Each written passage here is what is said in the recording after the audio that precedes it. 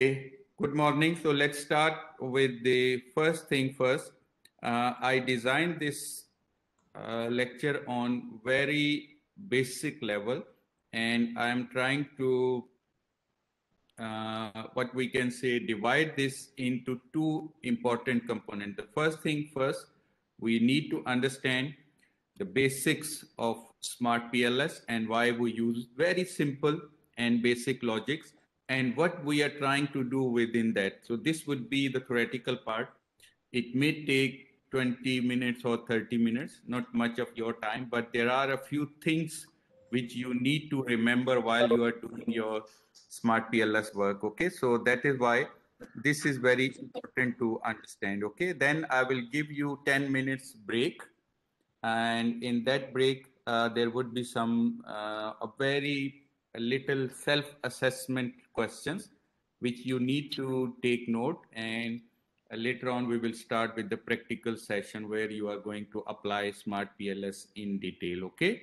Now why we use smart pls and what are the basics of smart pls this is uh, today's lecture. In this uh, session i will try to uh, give you the very basic understanding and the practical guidelines of smart pls and then later on we can see how we can report the result because the result reporting is a bit different than uh, conventional method which are basically SPSS and uh, uh, softwares. Okay so that's why uh, smart PLS is basically a method or a software for uh, uh, we can say variation based structural equation modeling. Okay so uh, don't confuse yourself. It is just uh, SEM, structural equation modeling. And why I prefer especially on other software, there are many different softwares available to do the same work.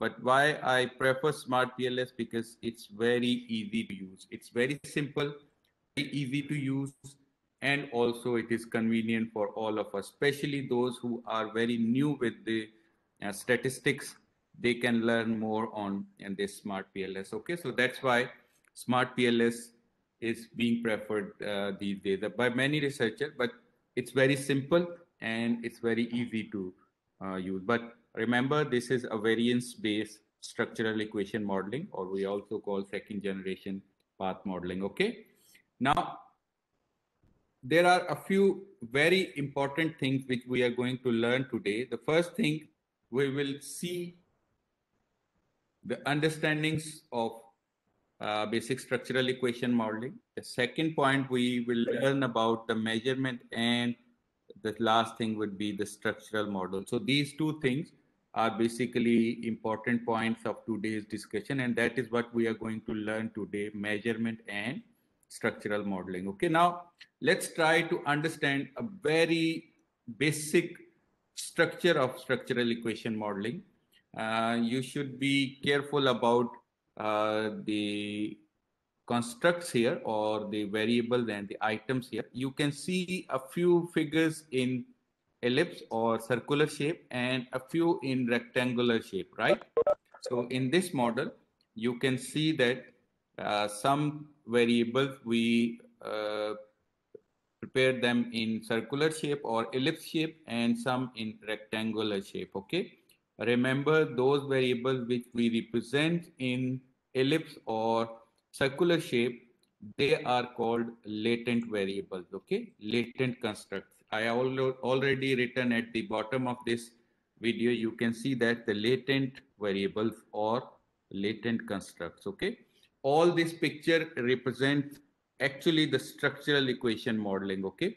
And this is something very similar which you uh, use as your conceptual framework. For example, independent and dependent variables. Okay. So mainly structural equation modeling we use for measuring the cause and effect. Okay. So that is why uh, we have independent and dependent variables here. Okay. In independent variable and dependent variable, you can see all these variables are latent constructs. Okay. When I say latent construct, it means that they are not measurable directly okay we use multiple questions to measure them okay that is why they are latent they are not uh, measured directly. Okay. So what we do, we develop questionnaire, right? This is what everybody is doing. They are developing some questionnaire and to measure one variable, you may ask three, four or five questions uh, from the respondent in order to measure any variable. Okay. So this is called a latent construct. Okay. And you can see the other figure, which is basically your uh, rectangular shapes. These are basically your items or indicators. In simple word, you can call them the questions in your questionnaire. Okay. So you can see questions. There are three questions for variable one, A. There are three questions for variable B. There are three questions for variable C. Okay. Uh, understood? So this is variable uh, items, questions, and then we have in ellipse, uh, latent construct, and then we have uh, rectangular shape where we have uh, these questions, okay? This is simple formation of structural equation modeling. And this is how it is going to work. One thing you you need to understand there are two major components of any structural equation modeling okay one is called measurement and the second is called structural model. So measurement model is also named as outer model, okay? And structural model also named as inner model. Don't so much confuse yourself because when we will do this uh, practically, you will learn everything there again. So I'm just giving you an overview of structural equation modeling. So there are two components, internal or outer okay and outer model is also named as measurement model and inner model is also named as structural model so in simple word if i show you this picture more in detail you can see there are inner models and there are outer models there are measurement models and there are structural models so when we do smart pls we calculate our model based on two steps. First, we do measurement model and second, we do structural model. Okay, clear? So first, we have to take in account the measurement model and the second one, we have to consider the structural model. Okay, clear? So just remember these words, inner model and outer model or measurement model or structural model. So why measurement model and what is measurement model and what is structural model? Okay, now let's talk about the measurement model. Here, if you remember, measurement model is very simple. It is basically, uh, you can see that it is also called outer model, okay? The model which is basically representing the latent construct with its indicator, okay? the relationship of latent construct with its indicator is measurement model okay i will i will explain later on but when we talk about measurement model some things you just need to remember for now because when i'll go to this uh, practical approach you will learn everything in detail but here you should understand that the measurement model we have to test two important things. One is called convergent validity and the second is called discriminant validity. Okay. Now, the theory behind measurement model is very simple. Uh, for example, one question, we are planning to measure satisfaction, employee satisfaction, for example. So when we measure employee satisfaction, we measure it on, based on multiple items or multiple questions okay? For example we conducted four different questions for employee satisfaction okay? Now we develop this questionnaire and there are four questions to measure employee satisfaction okay? Remember when we talk about these four questions they should be correlated okay they should be similar in in reflective index or reflective modeling. So mean that they all four questions they should be related to employee satisfaction, right? This is a, a common uh, understanding or common knowledge. uh, common sense. When we talk about the employee satisfaction and we are measuring employee satisfaction based on four questions, obviously these four questions should be correlated with each other. Okay. But this is theoretical understanding, but we can measure this by uh, reliabilities also, statistical procedures also. This is called convergent validity, where we measure how much items of a variable or of a constructs are correlated. Okay, this is called convergent validity. How we do this, I will discuss each and every point, but you should understand that if we measure employee satisfaction with the four questions, these four questions or uh, mm, four items should be correlated with each other. So how we do statistical testing of this, this is called convergent validity. How much correlated the items of a latent construct are. Okay, there are three different parameters to do the or to test the convergent validity, but first thing is understanding. This is first point we test in the measurement model. The second thing we are testing is discriminant validity. For example, we are measuring one is employee satisfaction and an other variable, which is employee performance. So how much items of employee satisfaction are different than the items of employee performance. This is called discriminant validity. Obviously, the common sense says that uh, the item which are measuring employee satisfaction they should be correlated but they should not be same with other variables for example if we are measuring employee performance the item should be different okay right so when we say item should be different it is called discriminant validity so we are testing two things two important things the first thing is convergent validity how much the items of one construct are correlated with each other, right? This is first thing. The second thing is how much the items of one variable are different or discriminant than the items of other variable. This is called discriminant validity. So these two conditions are for measurement model. What are these conditions? First thing, convergent validity. And the second thing is discriminant validity. Is it clear? Any question up till here? Anything you want to ask?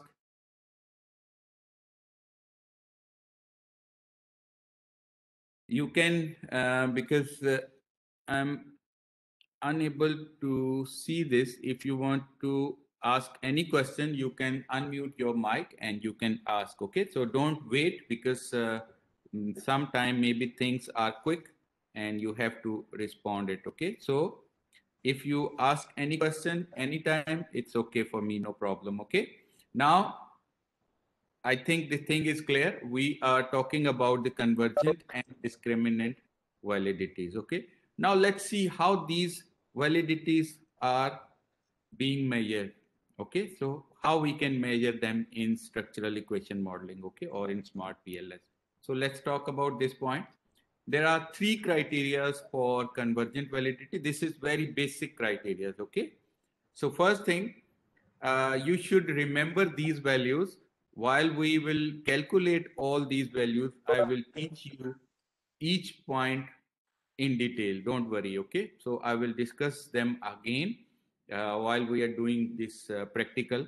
But here you should understand while we are conducting convergent validity, you should be able to figure out the factor loading should be above than 0.70 okay so how much factor loading is above 0.70 what is factor loading factor loading is basically the measure of uh, importance of item for a latent construct the formation of latent construct forget about this thing for now but remember this point we have to see the factor loading should be above than 0.70. Then the average variance extraction, it should be above than 0.50. What are these average variation extraction and how we calculate them, I will explain later on. But remember, AVE should be above than 0.50. This is the amount of variation caused by the whole data for a variable or for an item. Okay, so this is uh, total variation, uh, extracted variation. It should be above than 0.50. And then we have composite reliability. Okay, CR, composite reliability. This composite reliability should be above than 0.70. It is just like 1 alpha, which you calculate in your uh, I think uh, mm, normally we calculate in SPSS also. Okay, clear? So three criteria for convergent validity. One is factor loading. Second is AVE. And the third one is composite reliability. Okay, so these three points are clear for convergent validity. First, criteria to test the measurement model is convergent validity and convergent validity we have three important criteria factor loading ave and composite reliability okay let's go to discriminant validity how we test discriminant validity now discriminant validity we have three criteria but mainly we can use any one of these criteria it is okay htmt square root of AVE is greater than interconstruct correlation and cross loadings. There are three criteria, okay? The first is cross loadings. The second one is also named as Fornell-Larcker method or Fornell-Larcker criteria where square root of AVE should be greater than the correlations, okay? And then we have heterotrait monotrait ratio, HTMT. Okay, so you just remember these three criteria. These are the measurement for discriminant validity. Okay now three criteria for convergent and three criteria for discriminant validity. How we calculate and what are these numbers and figures i will explain later on once we are there in this practical session i will explain each of these numbers and how we calculate them okay clear so three criteria for convergent validity and three criteria for discriminant validity. Okay, clear? So this is simple method of uh, measuring the con convergent and discriminant validity. Once we establish that there is no issue of convergent or discriminant validity, the next step would be to test this structural model. This is called measurement model. So measurement model, we have two important criteria, convergent and discriminant validity. And for each convergent and discriminant validity, we have three sub criteria. Okay. So once we establish that our measurement model is okay, there is no problem. It means that the instrument or the data we collected is validated to test our hypothesis, okay?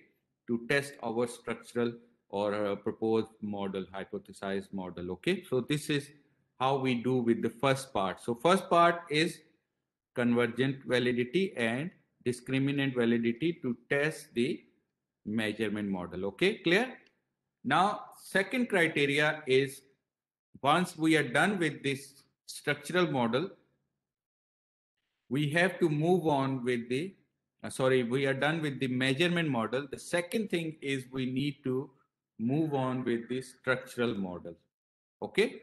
So the structural model, it is same like your regression analysis. Structural model is basically the relationship between the latent constructs. Okay. So if you remember here, I mentioned these are your latent construct independent variable A, independent variable B, and independent variable C or dependent variable. Okay, so this is your latent construct.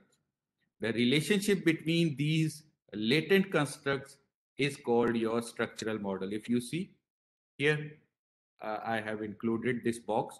You can see that this box is around the structural model. So mean that the latent variables, how they are interlinked with each other, this is called structural model.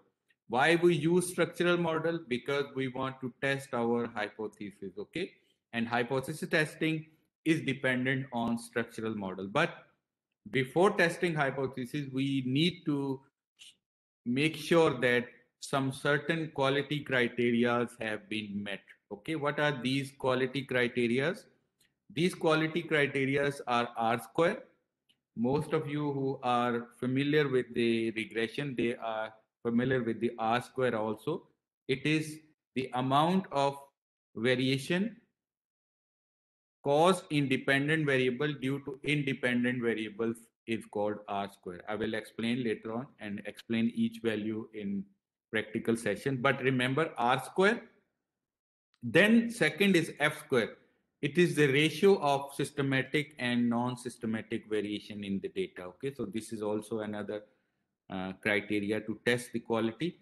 Then we have model fit, we have uh, error term, or we have multicollinearity like VIF. I will explain those values also. And finally, we have path coefficient on which we decide how much one variable is influencing the other one. Okay, this is called path coefficient. In regression, we usually name it beta, standardized coefficient or unstandardized coefficient. Here we are going to use standardized coefficients. Okay, so this is called path coefficients. Okay, clear? Now, these are four quality criteria which we need to mention in our report and in our data analysis method. Okay. And finally, we do hypothesis testing. We test whether our relationship they exist or not. When we test hypothesis, remember there are two very important criteria which you always need to remember. No matter you remember anything else or not, but being a statistician, we always remember one thing. T should be greater than 1.96 and p-value should be less than 0.05. Now, if you are doing quantitative research, remember these values. These are the most important values for you in your life, especially as a statistician or researcher. So t value should be above than 1.96 and p-value should be less than 0.05 in order to accept our hypothesis. Okay, this is very simple uh, uh, hypothesis testing model. Okay, I hope so. These points are clear for now because we are going to go into this uh, um, practical soon. But with this, uh, I, I, I think uh, I have done with my um, what we can say the theoretical part.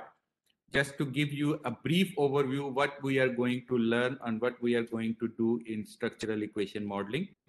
And here i will give you 5 minutes break or 10 minutes break and then we start with the practical session make sure you have received the data i sent you and also you have done with your software installation and make sure you follow my steps while we are doing data analysis. But, but, but, but here, I have a very important questions for you. This is the question. Without looking at your previous slides, can you try to assess what criteria I mentioned to validate your convergent model and your discriminant uh, validity okay? Convergent validity and discriminant validity. With this okay if you see it here let me just share with you. This is the new project okay? So you have to just click here new project and you will see this option and i included this one okay so here you can see your project okay all those projects. This is the one I just created here. Okay, so I give it a name of FYP. Now you can see there are two things. The first thing is you can import data by double clicking and this is your research model. Okay, so this is your workspace for modeling.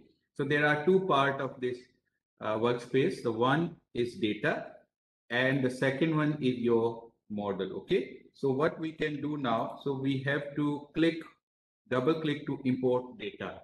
Remember, I already gave you one uh, slip or sorry, data uh, sheet. But remember, this data sheet is in CSV format, okay? So make sure your data is in CSV format. And most of the time we use this CSV for many software. So this is CSV, comma, delimited. Okay, so you have to convert your Excel sheet into CSV file. So you can just go to save as option in the Excel sheet and convert your sheet to CSV. Okay, so I just import this file here and now you can see this data tab is green now and here all of my data okay? So you can see all data is being imported into the uh, sheet okay? Now you can see this tab is green. If this tab is not green it means that there is any issue with data you have to settle with that issues Sometimes we face difficulties because we have missing values or we have additional columns. So you have to filter out data before you move to the next step. So once your data is being imported, it is easier for us to do rest of the work. Okay, clear? Now, again, if you see here, my data is imported and it shows that we have 353 records, means that there are 353 respondents in this sheet, okay? And now I have to move back to my modeling space, okay? So let's go to this modeling space, double click on this modeling space and you can see that uh, you have this option of Okay, so you have this option of working space. Let me uh, filter out the rest of the things which we opened before this.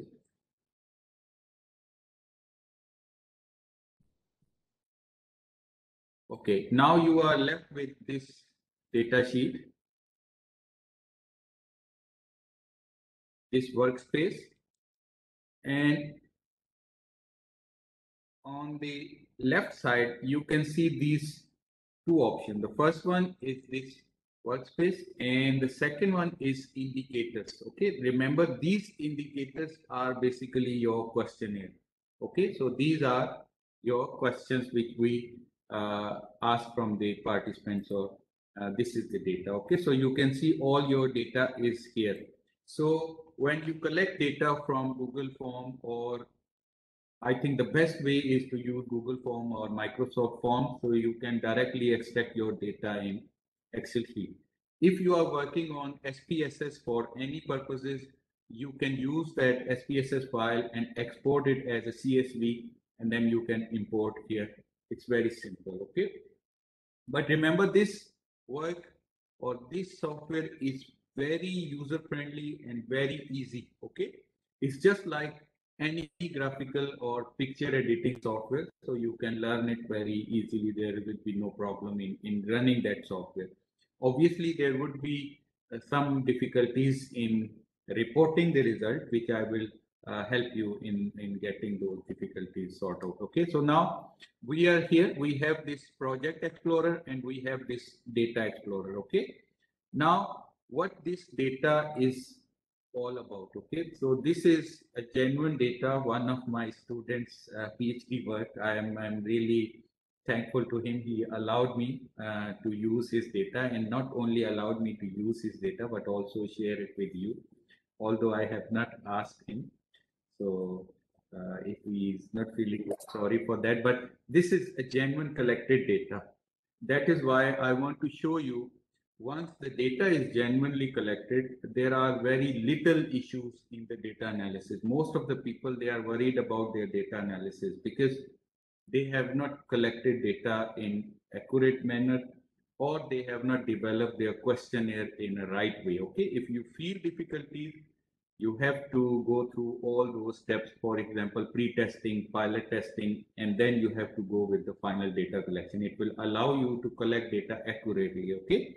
Now, here I have data and in this data, we have a few points. This data is a very simple data.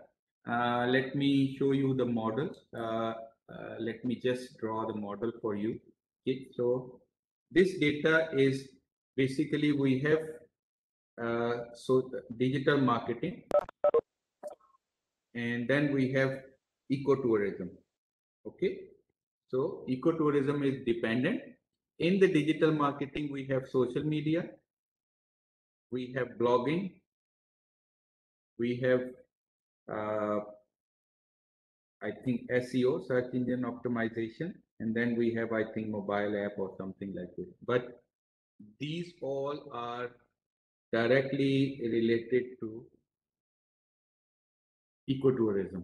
Okay, so what is the claim of the researcher that digital marketing will ensure that ecotourism is going to flourish? Mean that in simple way, digital marketing strategies help in doing ecotourism. Okay, so if we generate the awareness and if we do the proper marketing, the tourism and also the environmental protection can be managed. Okay, so this is the data set. Okay, clear, very simple. I am not using all of its data, but a few points. Okay, so our dependent variable, if you can see here, dependent variable is ecotourism and independent variable is social media, blogging, search engine optimization, and mobile. Okay, so these are your independent variables. Okay, now let's start how we can draw this model. Now, if you see this model, these are independent and ecotourism is dependent variable. Now let's bring first dependent variable. Here we have uh, different um, um, indicators of ecotourism, but here this ETC is your ecotourism, for example, for instance here, uh, to make things very easy for you. So ETC, we have seven questions. So what we did, we asked seven different questions. So this is one, two, three, four, five, six, seven. One, two, three, four, five, six, and seven. So ecotourism, we measure it based on seven questions. Okay. So how we draw this? We just click here. You can press shift button and then you select these seven. Okay. This is first method. Just click, press shift button and down arrow you can select all. Okay. Or you can just drag and drop one by one. Okay, but first let's select these seven and just drag and drop onto this workspace. Okay, you can see that my variable is already drawn. We I don't have to draw it separately. I just drag and drop these seven items and then my variable has been drawn on the portal on the workspace. Okay. So is it clear? Can you try? If it is easy, if it is okay, any question or anyone is facing any difficulty in here?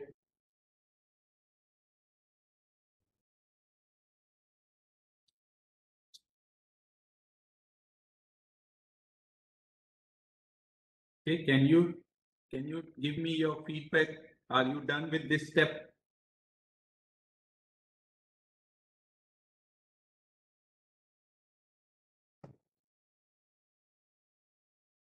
Don't give me uh, answer like my regular class today. It's clear. I know it is clear, and I will try to provide you the video later on also. But make sure you are following my steps uh, if you have uh, option to do it in parallel. Okay, it will give you a hands-on training. So make sure you are doing this, and if there is any difficulty, we can discuss on. Okay. So be practical today. Okay, let's move to the next point. So we have to give this latent variable name. Okay, if you see here, we have a latent variable and there's no name for this latent variable. So what you can do is just right click and you will see a few options there. Okay, so let's see these options first. What are these options? Let me give you a detail. So the first thing is delete. If you want to delete any item, the second you can rename. Okay, and switch between reflective and formative. Uh, we have uh, indicators, reflective and formative, but this is very basic level of uh, data analysis. That's why don't worry about these indicators.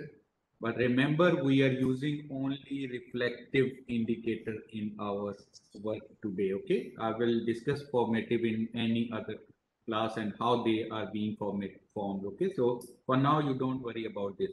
So if you want to hide the indicator of selected construct, you can use this option. I will tell you when and how we can do the set indicator weighted automatic. Now this is where you can change the, direction of your indicator. You can change the direction of your indicators okay? And then you can export the image and all these options are here but i'm interested in the second option which is rename for now.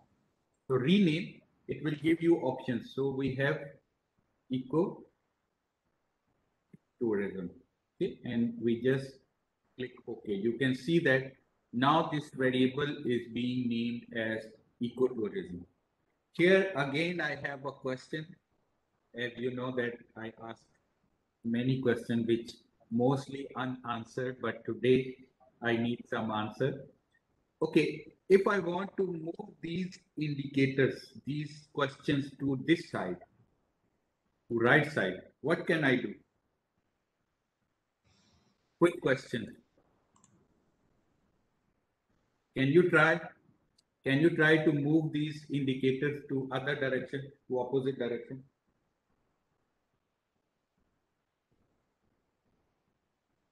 And if you are done, please write how you do that.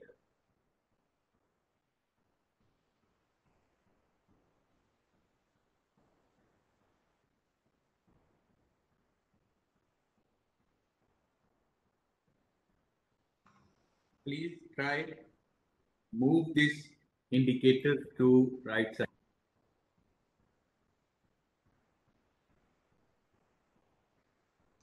Okay, please, dear students, you are in the first step of the practical how to use this software. Uh, follow step, step by step. If anyone not able to import the file, you, you, you have to talk with doctor. He, he, he will let you know how to import the file. Now he is asking you, after you do this step, how to re, I mean, make the direction of these uh, indicators and maybe left side or right side. Just do it now and show us. Okay, now uh, the question is just how to drag the seven respondent. Okay, remember these are not seven respondent, these are seven questions, okay? Respondents are 383. So in each question, the response of 383 is there. What you can do is you can just select, click here one item and then just click your shift uh, hold your shift key on the mobile or on your uh, laptop or computer keyboard and then select with down arrow the way we select anything okay and then just click like drag means that you have to click and hold the click and bring it to workspace okay? The way we drag anything on our computers okay? The similar the way you will drag this okay? When i say drag means that you click and hold your left click on mouse and drag it on the workspace okay? So just select all seven and drag them into yes we will provide you video link no problem uh, that's why i asked dr nabil if it is being recorded don't worry, even if it is not recorded, I will record it for you and send you uh, the video link. Don't worry. Okay, so you have done with this point. Now it is very simple.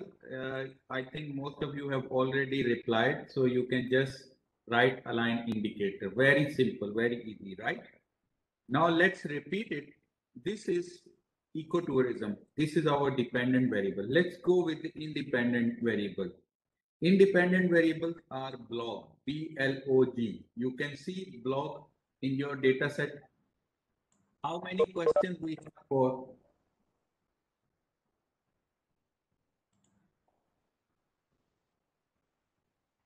how many questions we have for blogging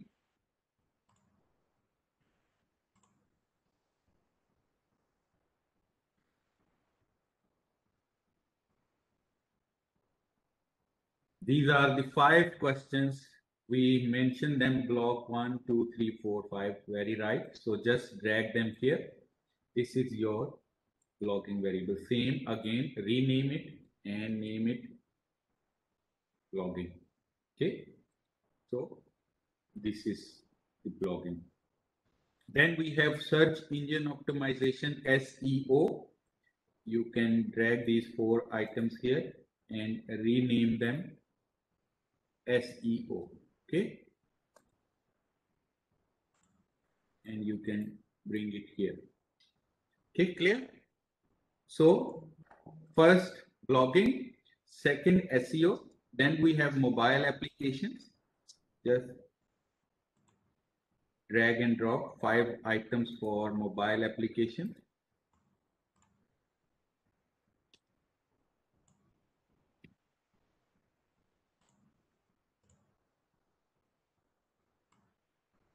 Right? It's easy, right? It's, it's like just like working with graphics. So just continue. And then we have social media, social media marketing. We have 10 indicators. So let's bring it here.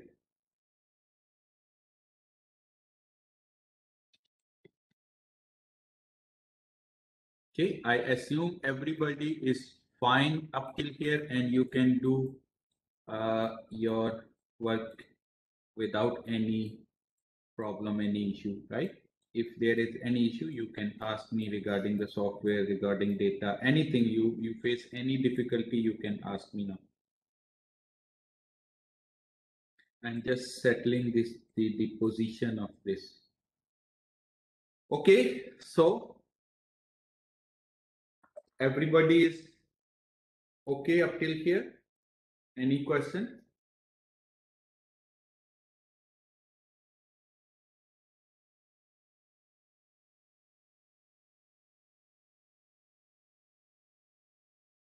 So if you are done with this point, please reply to me. Okay. Good. Okay, now to give you one very important understanding, what we did now is called your measurement model. So what we did, we have developed the measurement model. Okay, so what we did, we uh, bring these items with the latent construct. In the circular shape, we have latent constructs, okay? And in the yellow, we have items. Items mean your questions, okay? Now, if I ask you how many latent constructs we have in this model, can you give me the answer? How many latent constructs are there in this model? How many latent constructs are there in this model?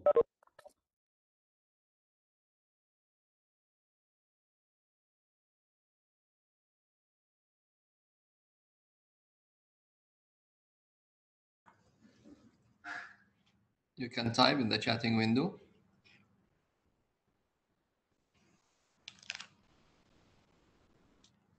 Good. Good. I think you are following me now. It means that there are five latent constructs, okay? And each latent construct have multiple items, right? Multiple questions. Now, this is our uh, measurement model. Now, if I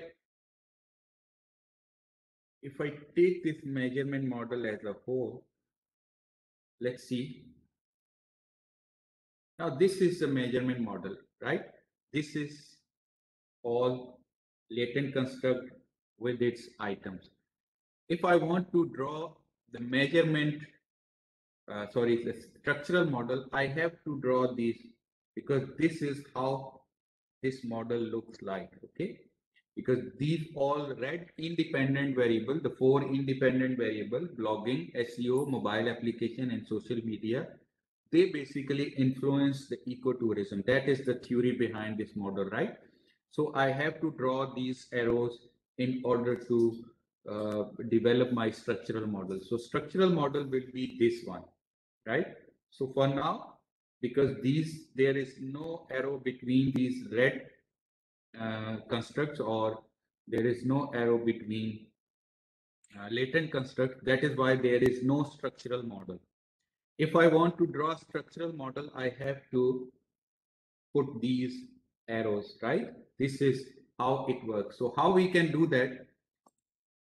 We have to click here.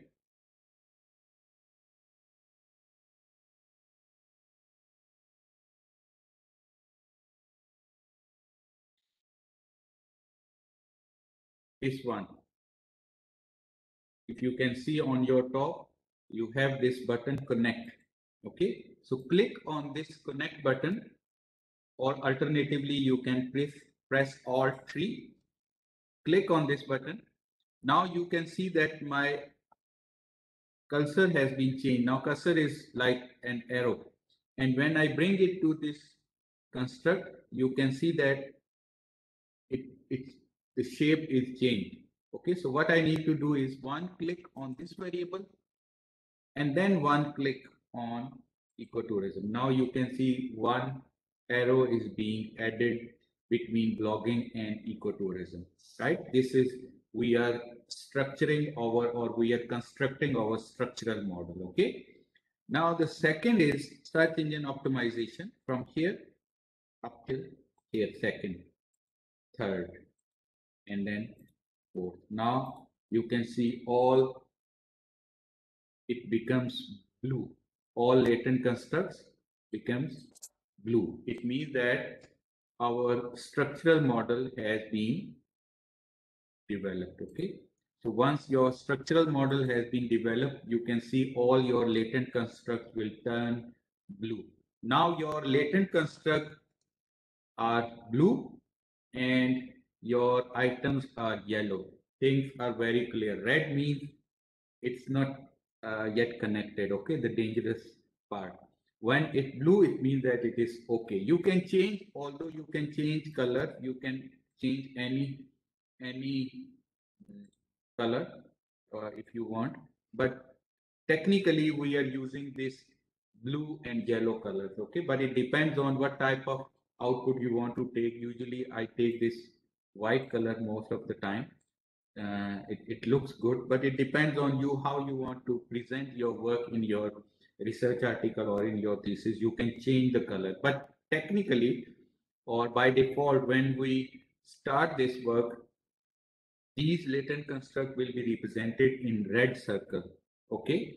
But when they are connected and your structure model is correct, it will turn blue. Okay. So you can see that all items are yellow and all constructs are blue.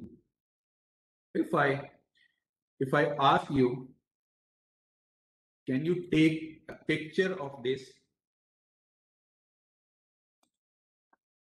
Can you take a picture of this and decide what are your structure or measurement models? Okay. Now, if I see, if I see in simple words, this is measurement model, right? And this one is structure. So this is measurement model and this is structural model. Okay, clear?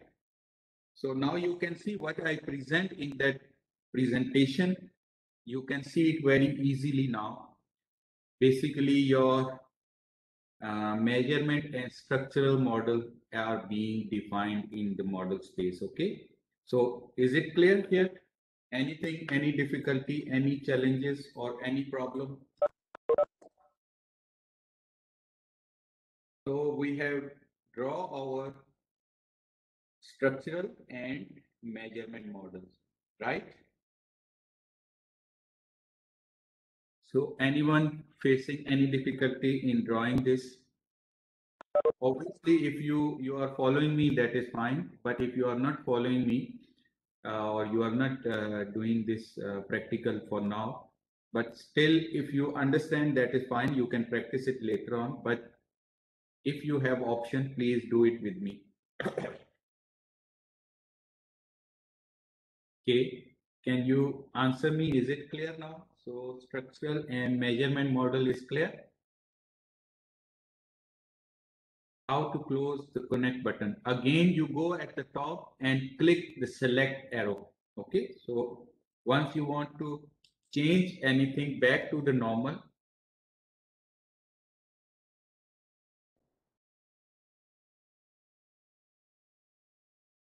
this one, please select this one and you will be back to your work. Okay.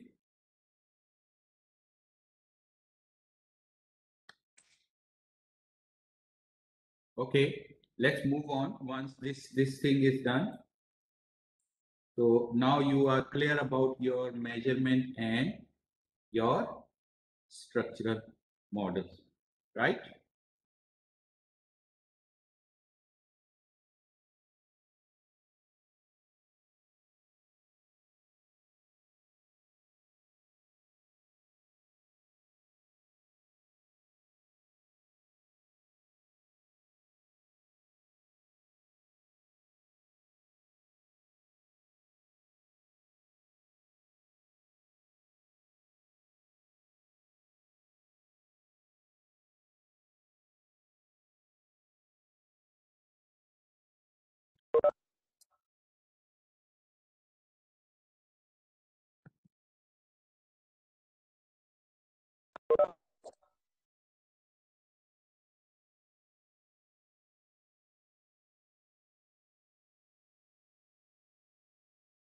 Okay, so up till here, we are clear. Let's move on to the next point.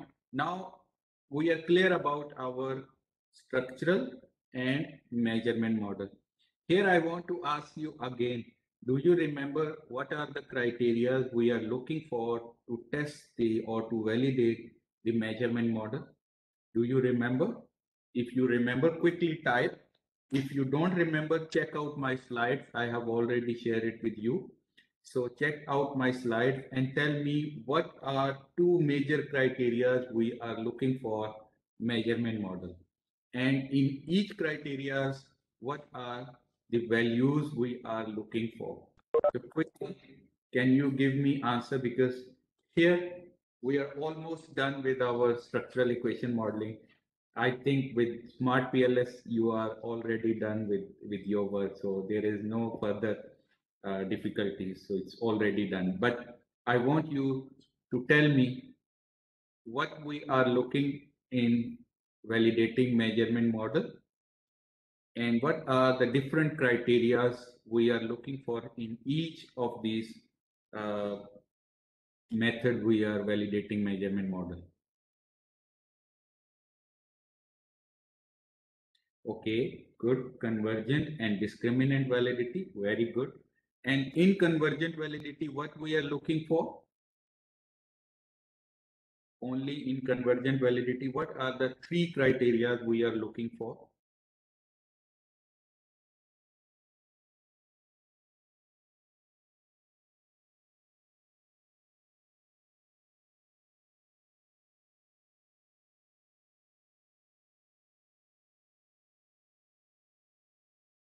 Yes, how much is the items are correlated?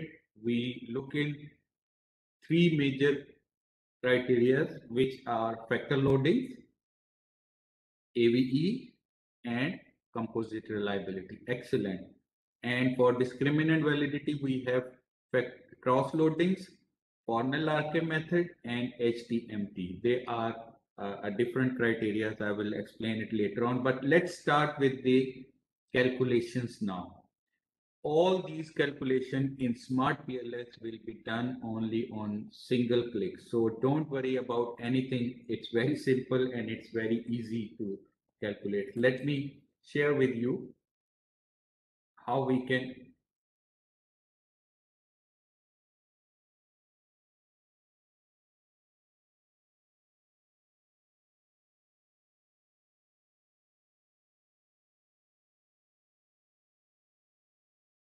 how we can do this calculation. You can see at your top menu bar, there is one button of calculate.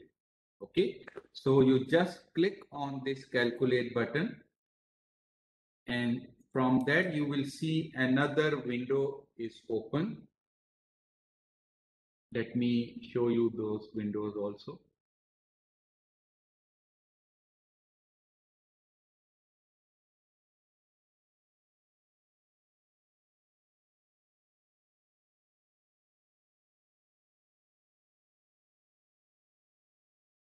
Okay, this is the window. It is open after you click on the calculations. The first thing is PLS algorithm where we are interested as a basic learner. Okay, all these we will use at uh, different level, but today we will talk about only two things, PLS algorithm and bootstrapping. The rest we will learn if you want to uh, learn it more. Okay, so we can do it later on, but for now, we'll just make uh, the simple calculation based on the PLS algorithms. Okay, so just click calculations and click on PLS algorithms. You will see this window and this window is very simple. In this window, you can see that uh, you have these options uh, weighting scheme and advanced settings, everything you just leave it like the way it is. Don't need to uh, work on anything, but we have to click on this start calculation button. Okay. So when I click on this start calculation button, you will see another window appear and all the calculation have been done already. Okay. So all your calculations are being done you just need to see uh, this window and here you can see the final results are there. Okay, so you can see all the criterias are here. So this is construct validity and reliability. This is discriminant validity. So every statistics is already calculated. You don't need to do any further calculation. So how we need to read these, it is important. Okay. So here you can see that on top of this, you will see one option export to Excel sheet.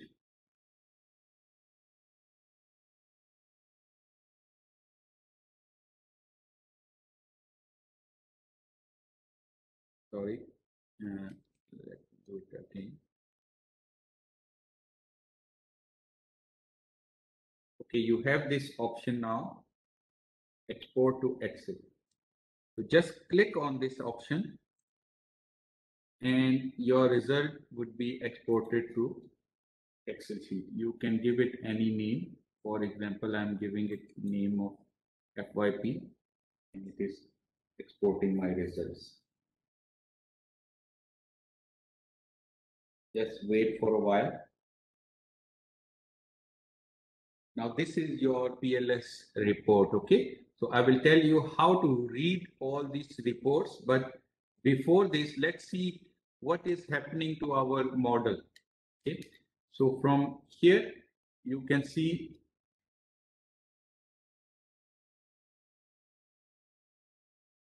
you can see this PLS algorithm. This is your data and this is your model again. So can you click on this model and see what is there? You have seen that there are a few values on this data set. Okay, so this model. Okay, clear? Uh, before moving further,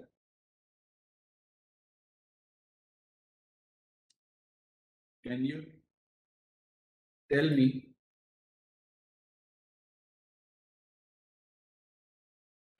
if you are clear about these things if you have done this part you have run the calculations.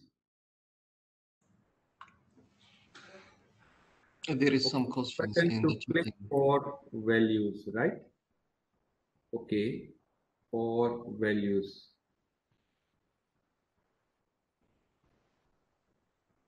values mean this uh, model or Excel sheet?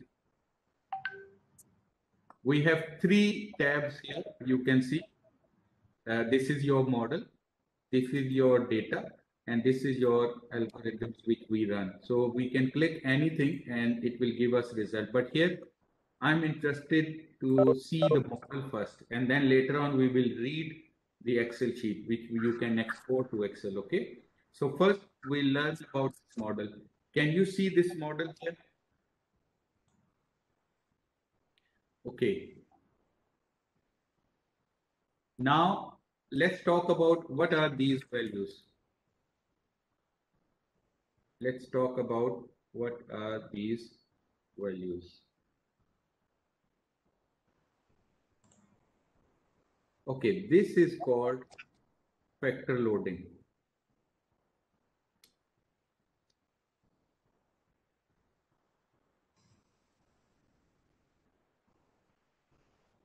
Okay, so these all are factor loading.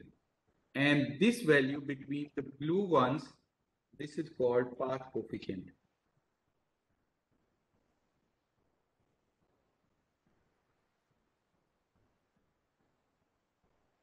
Okay, so this is called path coefficient. So what should be the factor loading value? What I told you,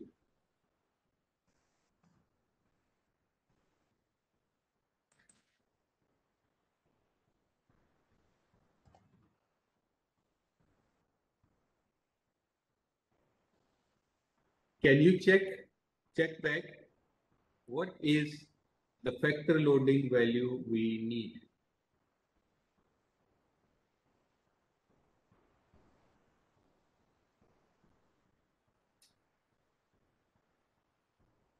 Greater than 0.70, right? Very good.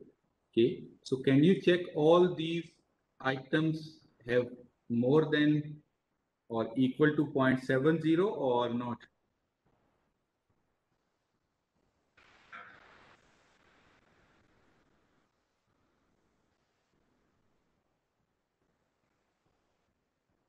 Can you check the factor loadings?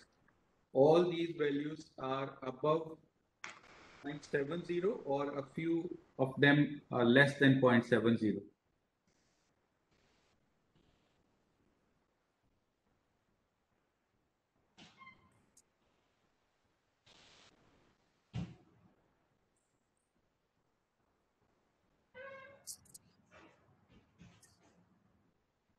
Okay, good. Some are less and some are more than point.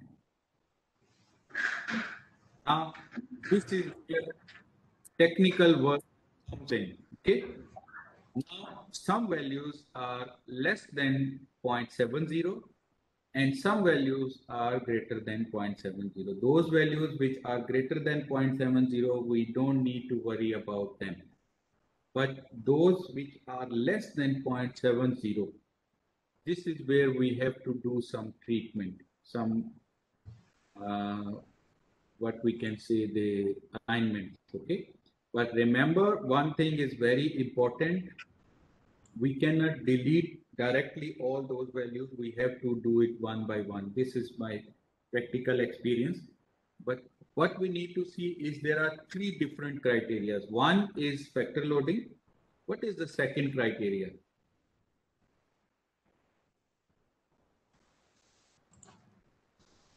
Factor loading is clear.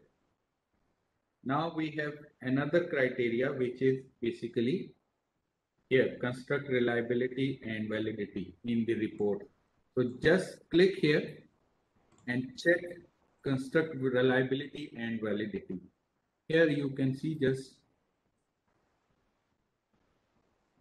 check these. Now, this is very important table. This is very, very important matrix. In this matrix, you have Cronbach alpha. This is the same which you calculate on SPSS as a reliability analysis, okay? You have another criteria this is also reliability, also need to be more than 0.70. Then we have composite reliability, which is also uh, we have to see it is more than 0.70. And if you can see that all the reliabilities are okay. But here we have some issues with the AVE. What should be the value of AVE? What should be the value of AVE? Greater than 0.50. Very good. Very good. Now you can see three items, blogging, mobile application, and social media. They have less than 0.50, right? Got it? So three are red. The system will show them in red values. This is because their factor loading is less for example, if we go to blogging, you see again here in your model, blogging. Now this is blogging. You can see that one value is less than 0.60. These two values are still less than 0.70. So what you need to do is you need to start deleting the minimum one. Okay. There are other procedures also we can do when the factor loading is up to the standard. But here, let's start with the basics.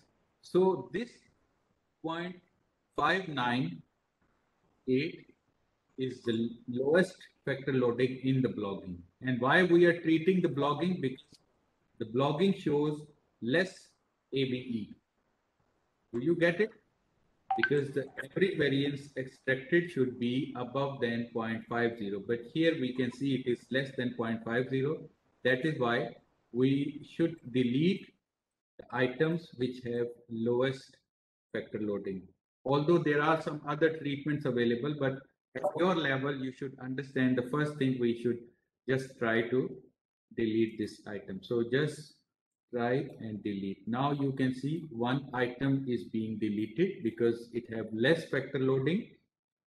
This is how you need to report in your result. We have deleted blog three, third item of the blogging because it have less factor loading. And then you run the test again. So PLS algorithm start calculation again. And again, we go to construct reliability. Now you can see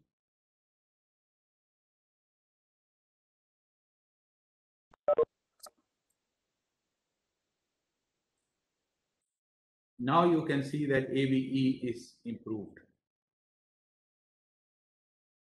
Logging, and you can see that AVE is above 0.50. So the criteria of AVE has been met. So you don't need to delete any further item. Okay. So we don't need to delete even though this is less than 0.70. Okay, clear? So we delete only to settle AVE, average variance extraction. Okay, if the average variance extraction is okay above 0.50, we should not delete items below than 0.70. But remember, there is another criteria. If any item is less than 0.40. Remember this, less than 0.40. If any item factor loading less than 0.40, we must need to delete those items, okay?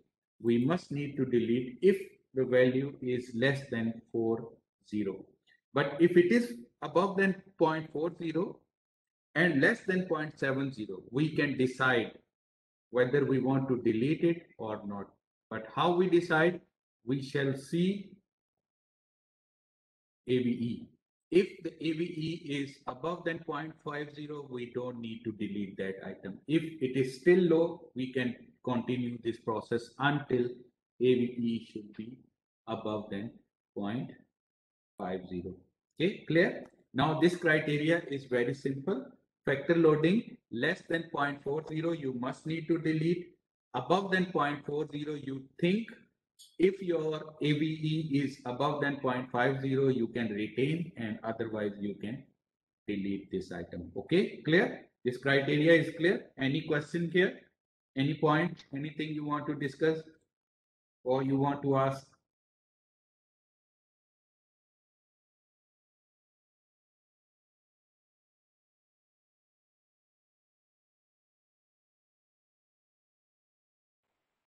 Okay, so if everything is fine, let's move on to the next point. Uh, Where- doctor, Yes, yes, please. can you uh redo to how to delete the uh blog three just now?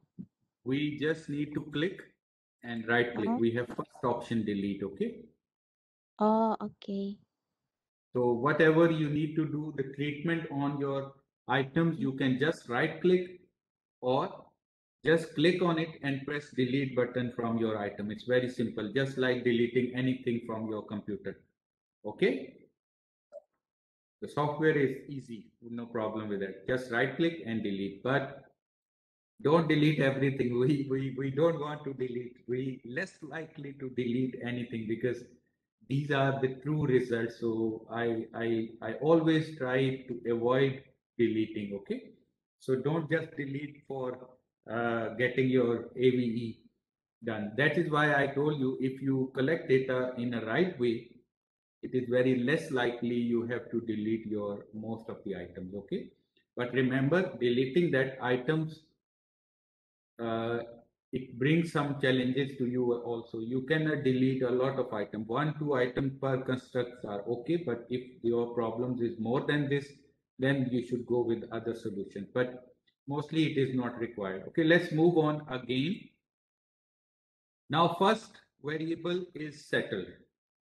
Now, my question here, we have second issue with mobile application. You can see it is 0.497. If I go here, mobile application, which item would you like to delete? Can you give me your answer? In mobile application, which item you would like to delete?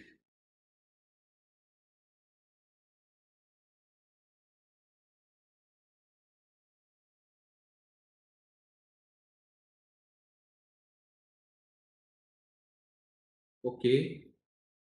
Alvina have question, doctor, if let's say after deleting some item, the AVE get 0.50 and only two item left, how should we get it? Okay, uh, the minimum item should be three. Okay, so if your three items are still there, it is okay, no problem with that. Okay, but if they are two, you have to find out the literature which supports that there are two items for this construct.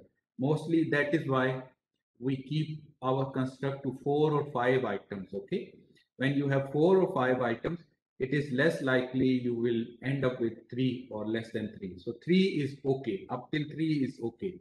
But if any is less than three, then it is an issue. So you have to check back to your questionnaire whether the questionnaire is, is having problem. Let's let's talk about a little bit of theory about this, why it happens and why the results are different. Now remember while I was talking about the measurement model, I discussed this thing. This factor loading is basically telling you how much these items are correlated or they are measuring the same thing. Okay. So factor loading is basically the combination of uh, variance and covariation. Okay. So it's a, it's a bit of statistics, but it tells us how much these constructs are correlated. When your items are not correlated at that time you can see that you have to delete more items. It means that there is an issue with your research questionnaire okay? So then you have to check back to your research questionnaire. That is why the the importance or the attention should be paid when you are developing your research question while your research question is being prepared you have to follow all the steps if you follow the correct steps I don't think so this problem will happen. But if it happens, it means that you have done something wrong with your research questionnaire. Okay. Now remember, This factor loading is telling us all these items are correlated or strongly correlated. So there's no issue of discriminant convergent validity. Okay, remember this point. Okay, so it happens when you are not dealing with the questionnaire correctly. Okay, so my second question, which I ask you, which item should be deleted, and most of your replies are fine. We have to start with mobile 2 okay so mob2 so i'm just right click and deleting this item. Just right click and delete or press del button. And then again we run the calculation. Maybe you have to done uh, this calculation multiple times but it's very easy. You can uh, do it. Now you can see that AVE is of mobile application is settled right? And if you see here, one item mobile one is still 0.407. Now, here again, I have a question. As you know, I ask many questions. So here I have again this question. If you have this item 0.407, would you like to delete it or retain it? What's your choice?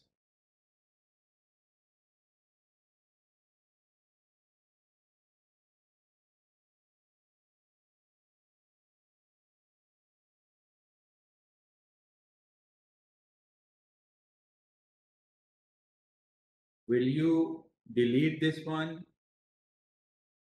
AVE is already 0.57. So what is your decision now? You check AVE. AVE is already greater than K. So no need to delete. Good. So you understand this point. And if anybody in the examiner or in the Viva, they ask you this factor loading is less than 0.40. Why you did not deleted it? What should be your reply? Why you retain this 0.407 if anybody asks you, although it is less than 0.70?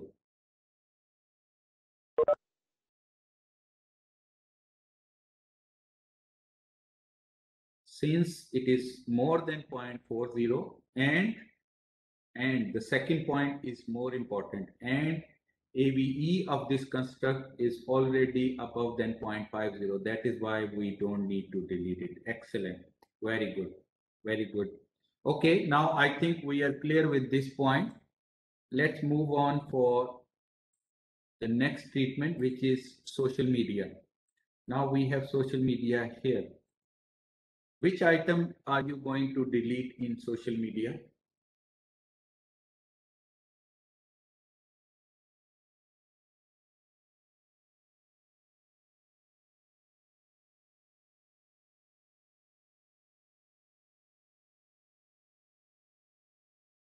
Okay, very good. I hope so with deleting this item 9, we can settle all with liability and AVE.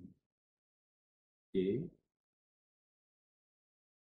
I deleted item 9 and then bingo, we are done. Our data is perfect, settled. But remember here I, I mentioned, I want to mention one important thing to all of you. This is a trainer's data. And what we say the trainer data is always the best one. But mostly we, we, we face difficulties. So whenever you face difficulties, you will have something to learn. Yes, it is a trainer's data, but believe me, this is a real time data. We have not tempered anything, any point, nothing. It's just a clear result. So it is not just a trainer data, it is a well collected data. Okay. So that is why there are very less issues. But obviously, uh, you learn from your own experiences. And if you have any difficulties, we can discuss anytime, no problem. But try to use it on your data and try to see what are the issues or challenges you are facing. But here, it's very simple now. So you are done with this point and everybody understood these three criteria. So we are done with first point of this measurement model, which is basically convergent validity. And in convergent validity, we have seen factor loadings. We have seen reliabilities. All these are reliability, but I'm more interested in composite reliability. And we are also interested in average variance extracted. So all these values are above than what we need, okay? But the good thing in Smart PLS, it gives you graphs also. You can see all these graphs are available. You can copy and paste these graphs and use in your research work or in your thesis or in your uh, research paper. Okay, so very simple and very easy. I think everything is clear up till here. Any issue?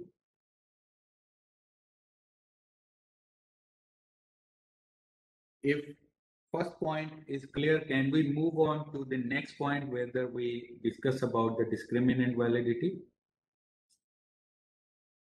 Clear? I hope so. The things are simple, easy, and clear. Yes, we can save. It is already saved. Whenever you are going to quit, it will ask you uh, to save. So you can save anytime, no problem with it. Okay. But remember, when you are done with this step, you have to export your Excel sheet also. Okay. Now, this is about the reporting if you remember, I exported the initial sheet with, without any treatment. I exported that and now I'm exporting this to Excel sheet as a second final measurement model, okay? Why I export these two? Because sometime I have to show the difference. Okay, this was the first model and this is the second model you don't need to make the graph. Graphs are already available. Okay, so you can just import those graphs. If you see the complete chart in this Excel sheet. Let me show you. With this Excel sheet, at the bottom, you will see different sheets. Here are the complete chart. Okay, so you can go there and just click on the charts. All charts are available. You can just copy and paste them in your work, okay, wherever it is required. So you don't need to draw anything. This is something very good about Smart PLS. You don't have to do anything. Everything is already pre-done or pre-calculated, okay? Okay, I'm waiting. Just check and if there is any issue.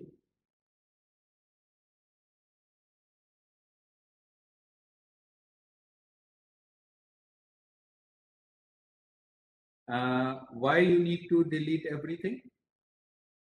You have different data.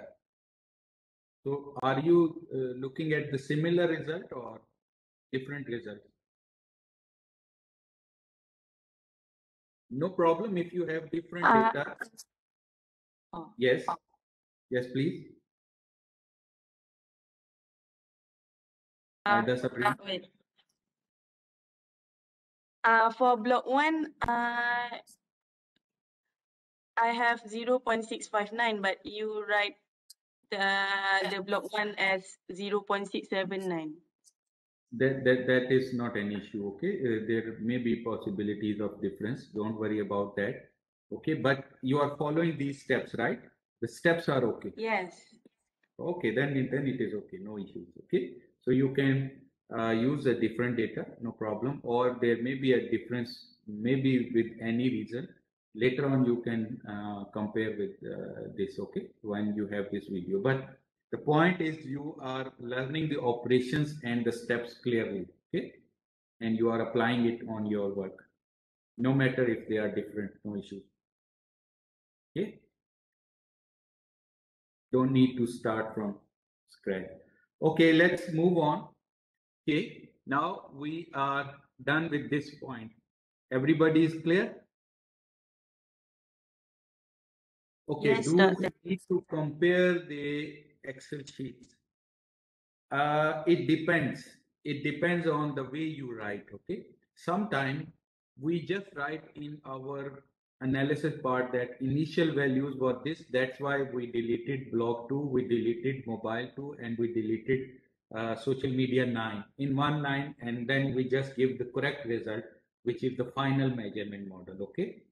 But in some cases, it's your choice. We give initial result and tell them, okay, these are the difficulties or these are the challenges or issues. That's why we deleted these items. And with the deleting these items, this is the new measurement model. It is the way of your writing. You can use both. You can show first measurement model and then you can show second measurement model. But one thing I forgot to tell you, you have to export. If you go here,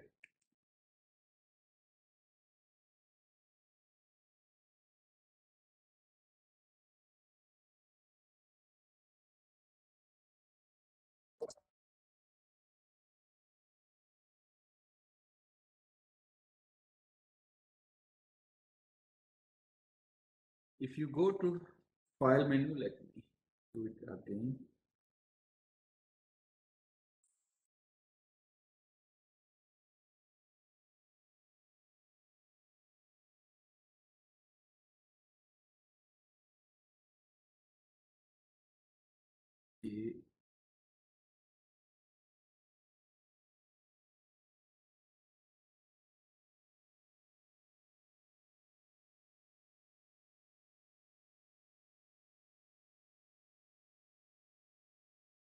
If you go to file menu and then you can see here export image to file or export image to clipboard. So we have to export this file, okay, because we want to display it in our so uh, in our report. So export as image to file, okay, and then it will ask you whether you want to save it, okay.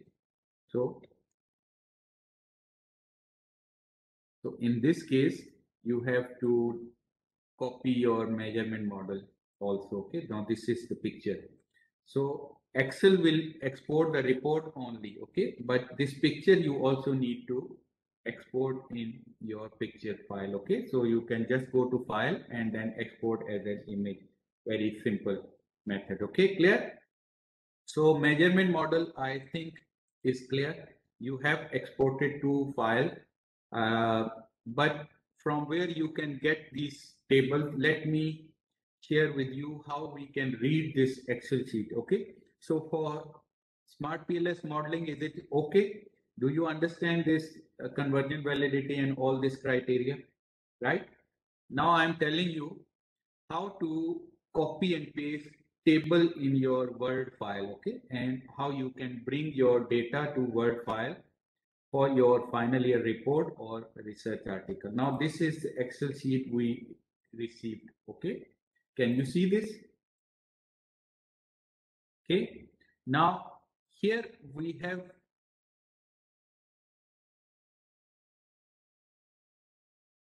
outer loadings.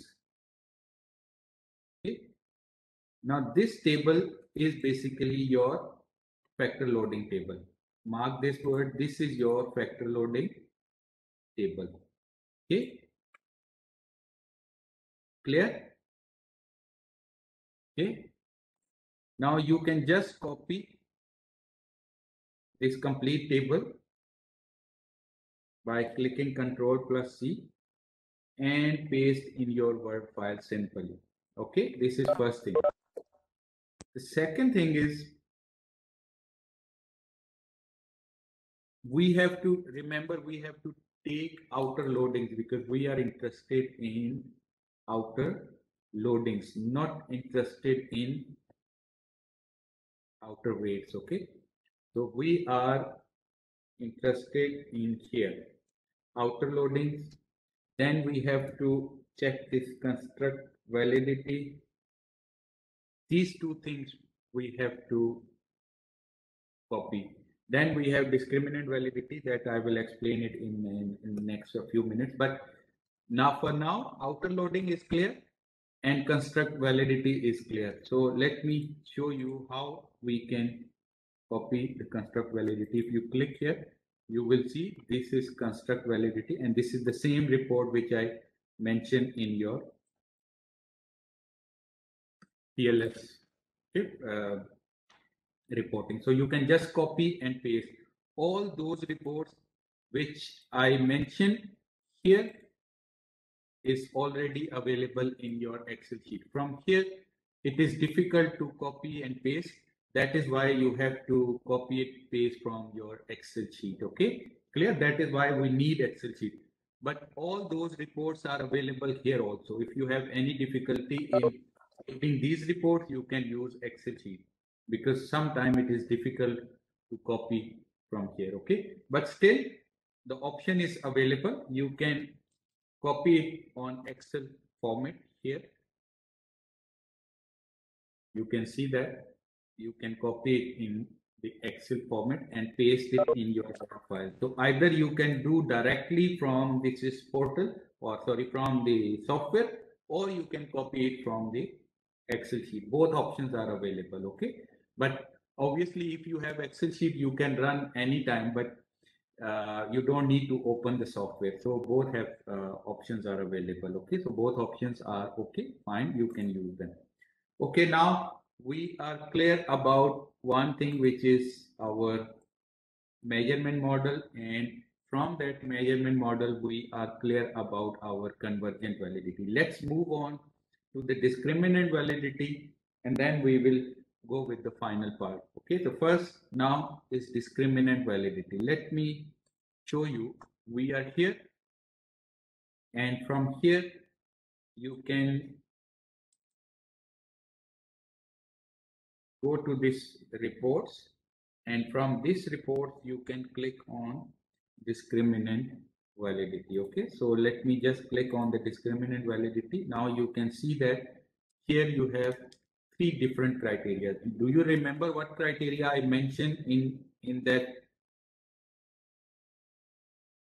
presentation? One, Fornell-Larcker. Second, cross-loading. Third, HTMT. Do you remember?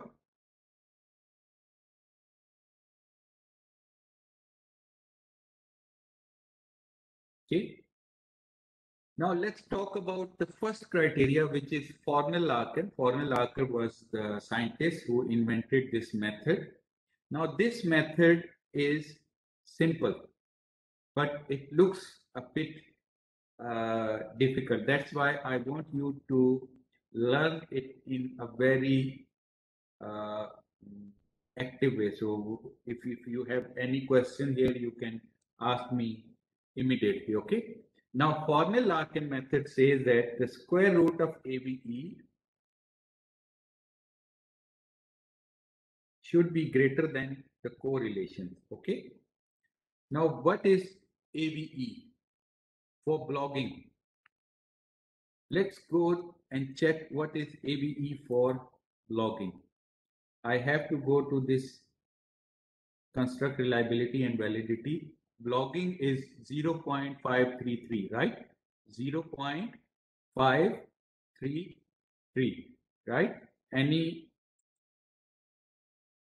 confusion here? So, logging AVE is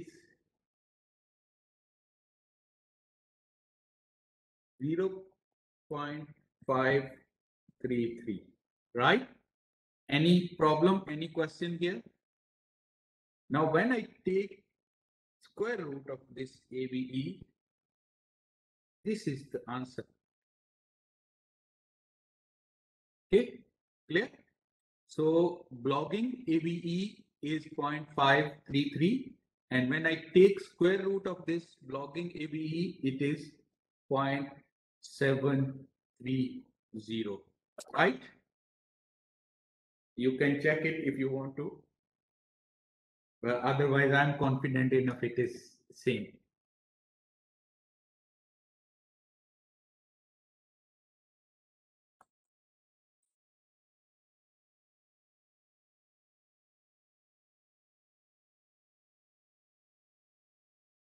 Okay, any question?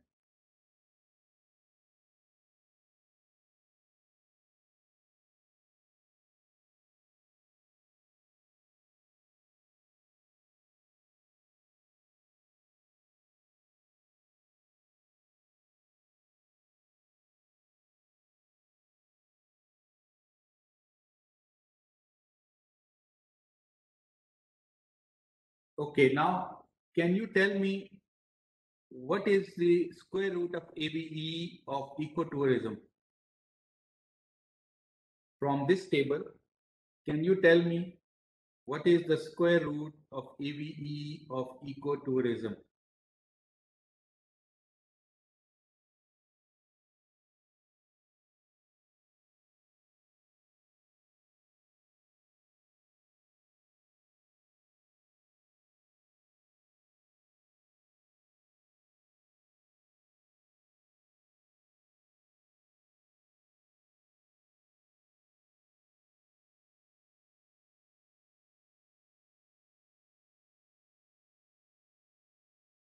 Mm, I think this is the previous one, but when we settled down this one, AVE was ecotourism was 0.622. Okay, so the square root of 0.622 is 0.788, right? This one, very good. Okay, so diagonals, they are showing square root of AVE. This is square root of AVE of mobile application. This is for SOE and this is for social media. Is it clear now? Okay, so this table, can you read it now? So the diagonals, they shows the square root of AVE of respective construct. If you see, this is blogging. If you see, this is ecotourism. This is mobile application. This is SOE and this is social media. Okay. Clear? Let me take this picture again because we have done a lot of work on it. So I need to work again. Okay. Now we are here. I have a question now. 0.723. 0.723 is the square root of AVE of which constructor?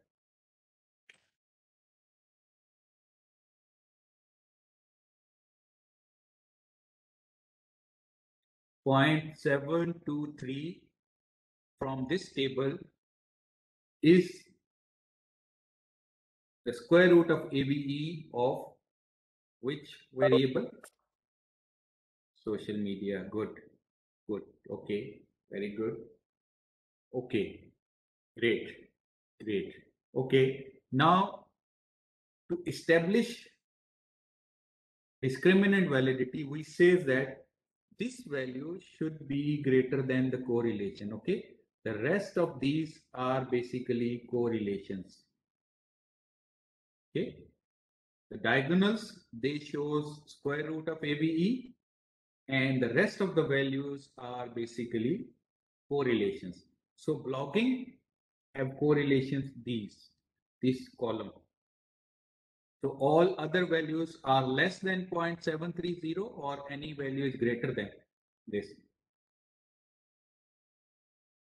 So 0.730 is greater than rest of the correlations. Rest of the correlations means all values below this 0.730. Right? So this point is correct because 0.730 is bigger. Right? Is it clear?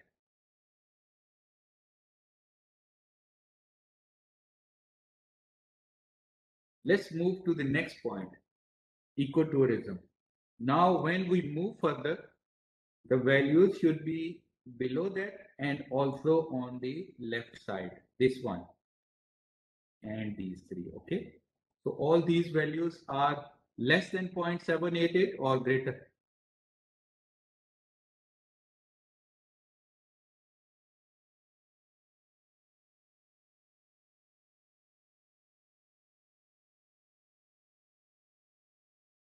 Okay, can, can I move further on mobile application? This is two values and if I go this diagonal, this is two values okay? You can see that these values are less right? Also. If we go here and let me just remove everything just to make it simple for you. Okay? Now i'm talking about this variable seo can you tell me this is the correlations, right? So all these values are greater than or less than this. Any value is greater than this 0.795 or all less.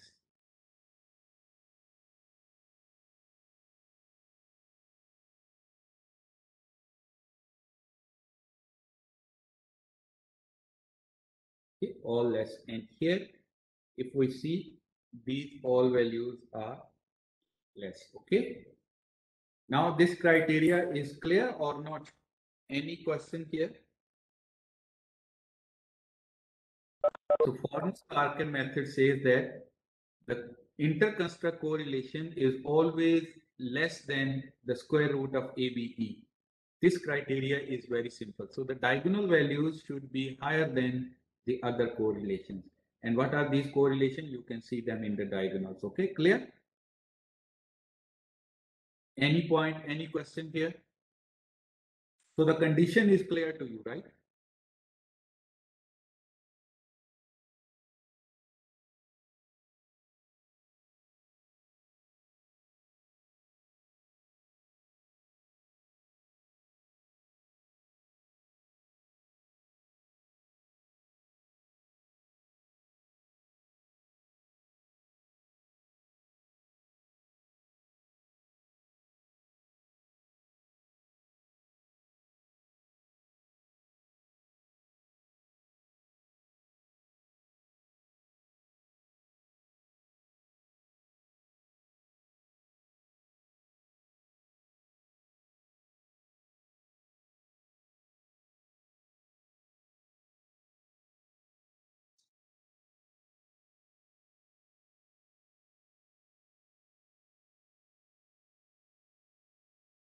Okay, any question, anything? If it is clear, we can move further.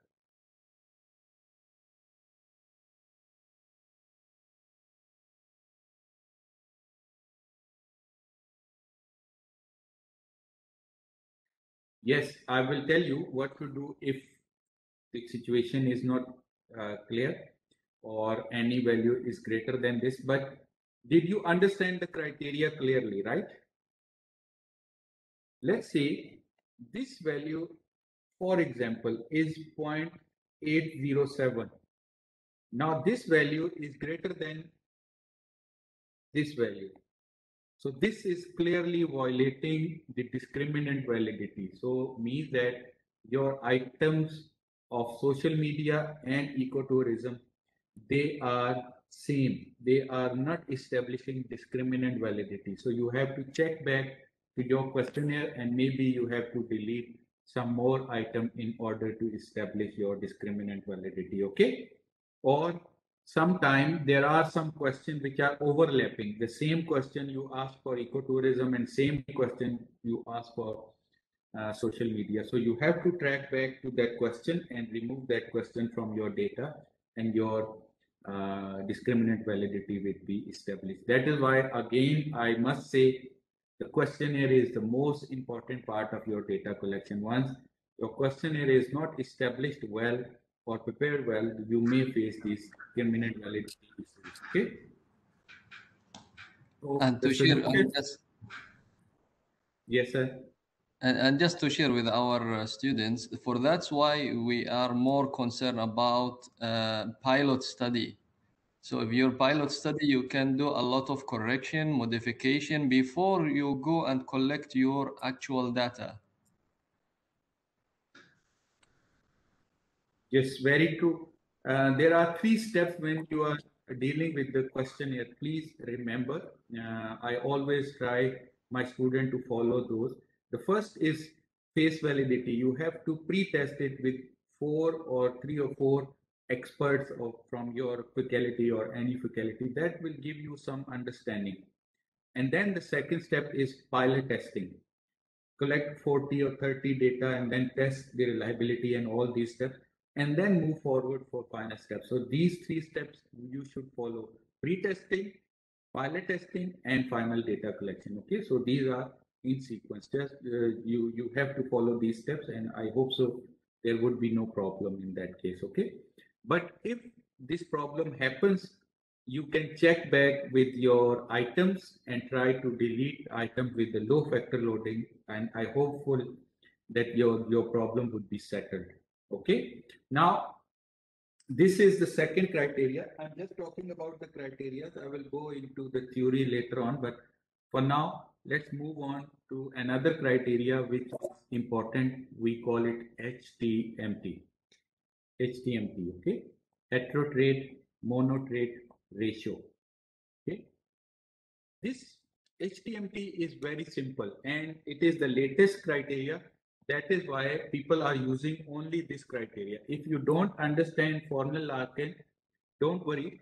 There is an alternative method available, a very simple method at your level. If you just use HTMT, that is more accurate. Okay, this is called HTMT matrix. Okay.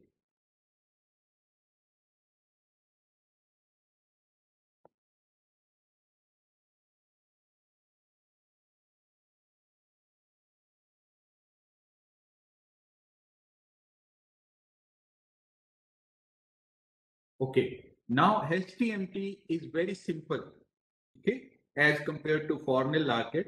HTMT should be less than 0.85.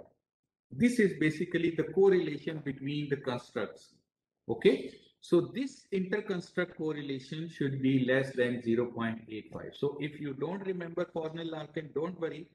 You just follow this table. You just copy and paste this table and check if there is any value within this table above than 0.085. If yes, it means that that variable or that construct have uh, discriminant validity issue. If not, it means that everything is settled. If you can see here, the maximum value is 0.818, which is less than 0.85. That is why everything turns green here. So if you don't remember Fornell-Larcker, don't worry about that. Just use HTMT. And HTMT is very simple. This table should not contain any value above than 0.85, mean that all HTMT values should be less than 0.85.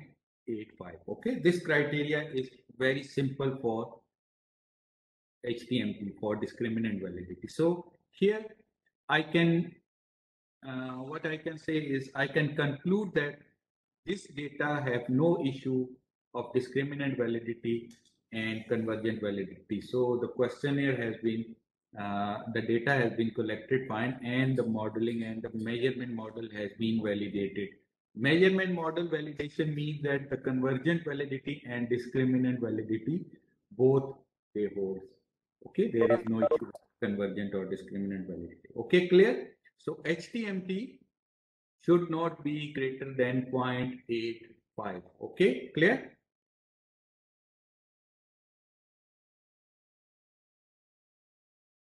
Okay, clear? Any question here?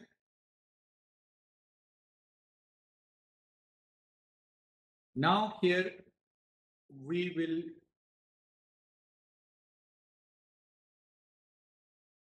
uh, Daniel, you asked me, is it related? Means, uh, what does it mean? Can you explain your question? I didn't get it.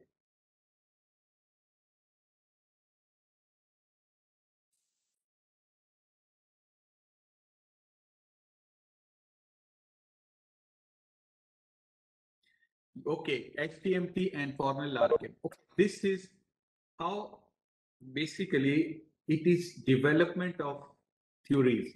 Initially, the only method through which we validate discriminant validity was Fornell-Larcker method. And Fornell-Larcker method is basically a criteria of AVE and correlations. But later on, uh, there are some development in statistics and they bring another criteria. The HTMT is the most latest criteria for uh, testing in the, the discriminant validity, and it is basically based on internal correlations and external correlation. That is a little bit difficult to understand at that this level, but you understand this. This is the latest criteria, and it shows that the interconstruct correlation is not more than 0.85. It do not relate this value with AVE, okay? But there, this criteria is more suitable and widely used nowadays, okay? It is more accurate.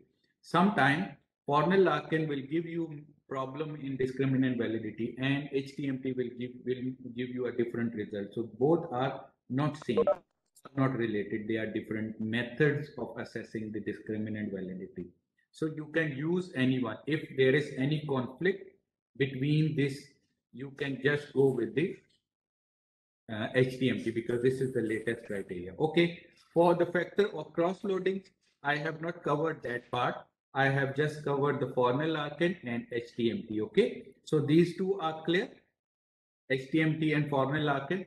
Let's talk about the cross loading. Cross loading is very weak criteria to test the uh, discriminant validity while we have HTMT and Fornell-Larcker method, but still this criteria is validated on some point. Okay, now how this criteria works. Let's talk about this table. And when I talk about the cross loading, let me show you this cross loading table. Okay, now this cross loading is showing this is your first item and it shows variation in all variable. You can see the variable names are here and here you can see the questions. Okay. Okay, clear? This is same like your factor loading, but this factor loading is on all variables. You can see that these four items although they belong to blogging variable only, but you can see we have shown all their factor loading. This is factor loading in all other variables. Okay, not only on blogging, but on tourism, mobile application, SEO, and social media also. But here, the common understanding is this. The common understanding is very simple. It, it should give the highest factor loading on the construct for which it has been developed. For example, the blogging. So these five items should give the highest factor loading on the blogging. Okay, clear? You can see other values are very less than this value, less than 0.40 or 0.50. These values are above 0.70. Okay, so clear. Sometimes if your Fornell-Larcker method give you some hint that there is an issue, you can find that which item is having issue from here. Okay, how we can find, for example, this blogging tool, it have 0.60 value here, 0.222 and 3 here. For example, here it gives you value 0.67 or 0.30, not this one. In this case, this blogging two item is giving highest factor loading in two constructs, not one construct. That is why this factor or this item is having problem. Okay, so you have to delete this item. Okay, that is why how we use cross loadings. Okay, so cross loadings mean the factor should give the maximum loading for which it has been established and on all other factors it need to give very low factor loading, okay, less than 0.40 or 0.50, okay. For example, let me give you example of this ecotourism. This is ecotourism, right? So you can see that here it gives the highest factor loading and the rest of the items it gives the lowest factor loading. So this is cross loading. Mobile mobile applications are here.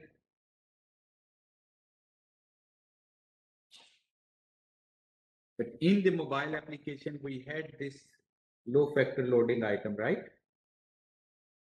In some cases, if you have difficulty between the items or between the uh, Fornell-Larcker criteria, you can see that this value is approximately equal to any other value in that construct. So means that this item is giving highest factor loading in different constructs. So that is why we have to remove that item. Okay, this is how we use cross loading. Okay, it is very important if you have any problems in the discriminant validity, you can track using cross loading. Okay, so this will allow you to treat the items which are giving factor loading in different construct and they are creating problem for you. So you can remove and you can track and you can remove those items your cross loadings. Okay, clear? Okay. Clear? Any question? Now, I think Fornell-Larcker is clear. Cross loading is clear. HTMT is clear. Any question here? But cross loadings we use to track the items which are having discriminant validity issues. Okay, so we can track these items from here and we can remove uh, from our data analysis easily. Okay, clear? Now, any any other question from here or any point you want to clarify? Okay, now let's take a break, a short break of two, three minutes. And I have to give you one activity, a little activity. Can you check all those criteria which we use for convergent and discriminant validity and check your model, everything is perfect. Yes. Uh, Doctor, uh, this is Roida from United Arab Emirates. So we have started our work here. So can you just, if you don't mind, after uh, finishing the session, uh, send the link of the record? Uh, yes, I, I can do that. No problem. So you want Thank to you, do dear. the report, how we report the result, right? Um, actually, from the beginning, if you can just send the, the, rec- the record, then we can go through all. I, I will share it. No problem. Okay. Thank you, dear. Thank you, doctor. No problem. luck. Yeah. Okay, thank you. Okay, so uh, what you need to do is uh, you have to delete not all, okay, one by one. So whenever you are going to delete the items, please try to avoid as much as possible. Delete only those items which are you must need to delete. Okay, so one by one, one by one, you cannot delete everything at once. So if you track uh, two or three problems in uh, uh, this cross loading, you can just delete one and check back again. Then you delete one and check back again. So you have to run multiple times. But in that case, sometime we avoid deleting our uh, item because in my experience, sometimes we delete one item and it solves the issue with the other one also. So you don't need to delete all together, one by one. Okay, clear? Okay, now I'm giving you two, three minutes just to recall what we learned for measurement model. You all check all the criteria which we uh, which we have learned for the measurement model, discriminant and convergent validity. Check back your work and see if it is perfect or not. If you have any question, write it down here and I will try to answer it now if it is in my expertise. Okay. So I'm just giving you five minutes to recall your measurement model and then we start the structural model again. Okay. So in the measurement model, if I conclude it, we have two things uh, convergent validity and discriminant validity. And for both convergent and discriminant, we have three different criteria, which I have explained all to you. Okay, so check back if any questions still we can ask and then we can move forward. So let me put myself on mute for five minutes and then we can start again. Okay, meanwhile, you have any question, post on chat or comment.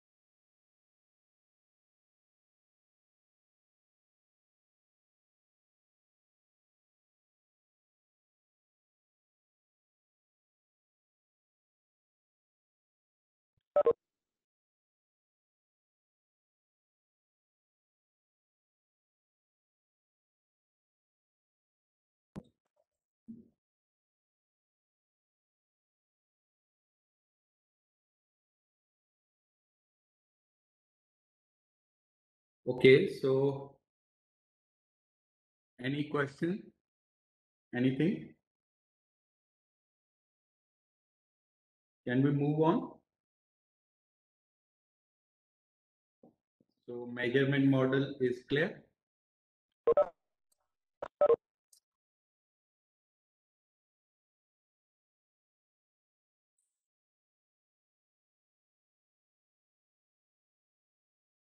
Okay, for the writing on thesis and the reporting for research paper is different. Okay, so what I'll do, I will share one research article which have been uh, using this smart PLS in the same way and a sample chapter for writing. Okay, you can use as a guideline to report the results. Okay, so it's very simple.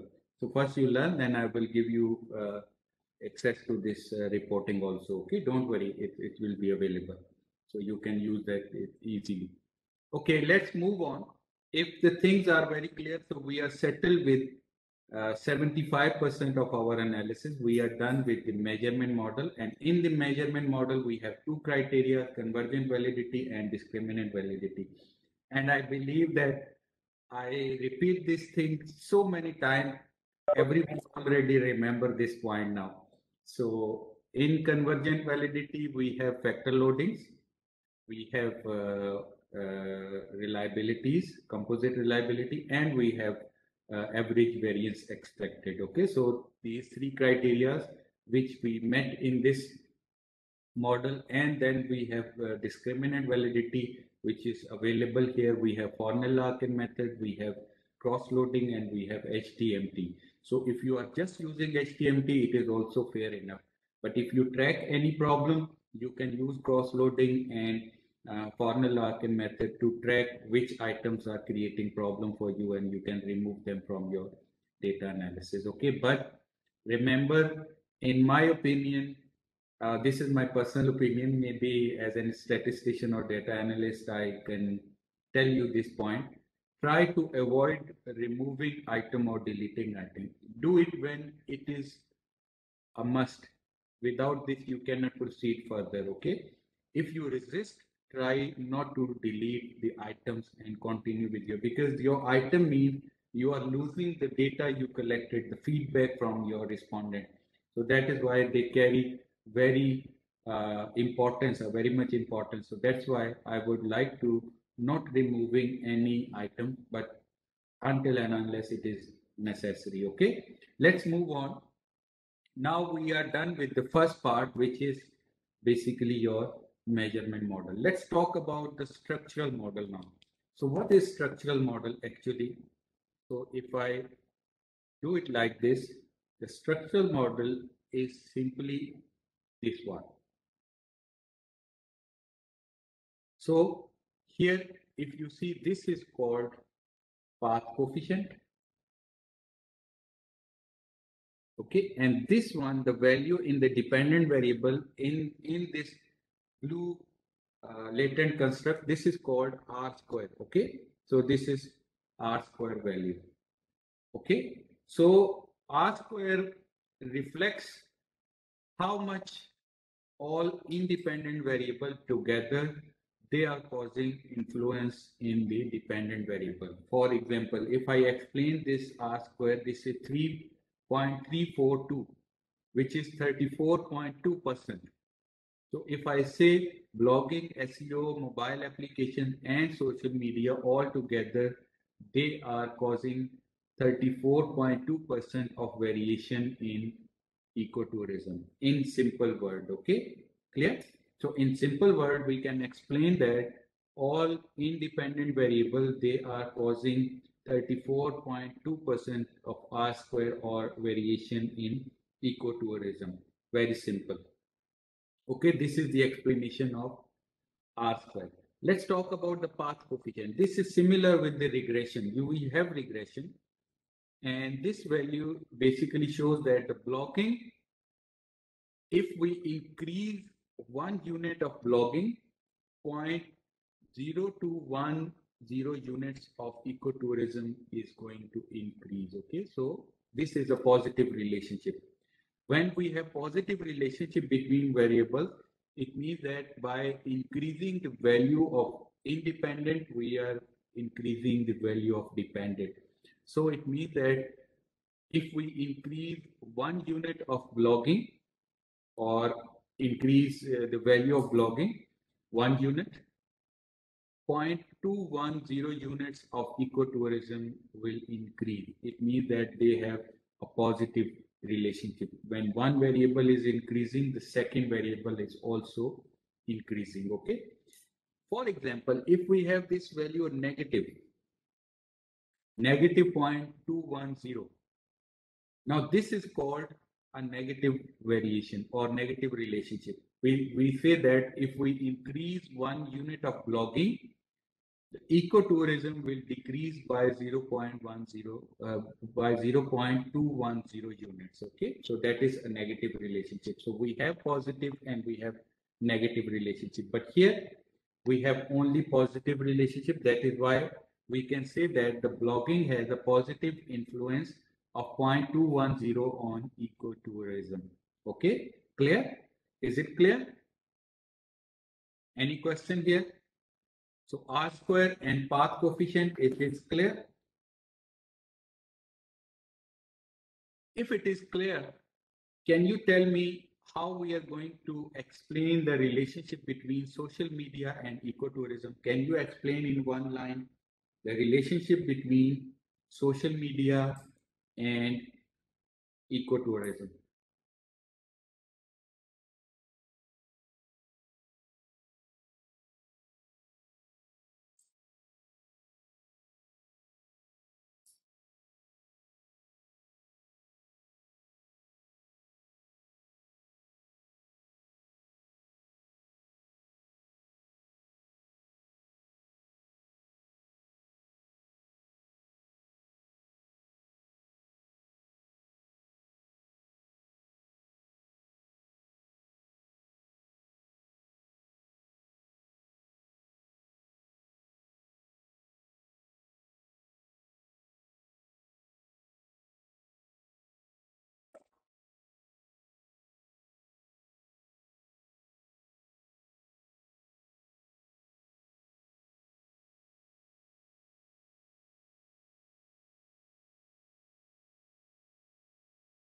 Social media has a positive relationship of yes it is uh, fine but you can explain this in another way that by increasing one unit of social media 0.313 units of ecotourism will be increased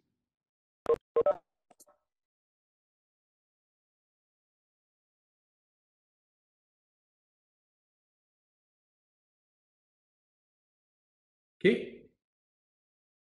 Yes, there is a positive relationship. Okay, now, now you can see that how this structural model is working. But these values, path coefficient will tell you the relationship. But this relationship is statistically significant or not. This is an important question. We cannot tell that, okay, there, there is a significant relationship uh, yes, there is a relationship, but whether it is statistically significant or not. Okay, so that is another question. But here, before reaching to that point, whether your structural model give you correct result, we have to interpret three things now. R square, path coefficient. Then I told you quality criteria of model fit. So we have to test this.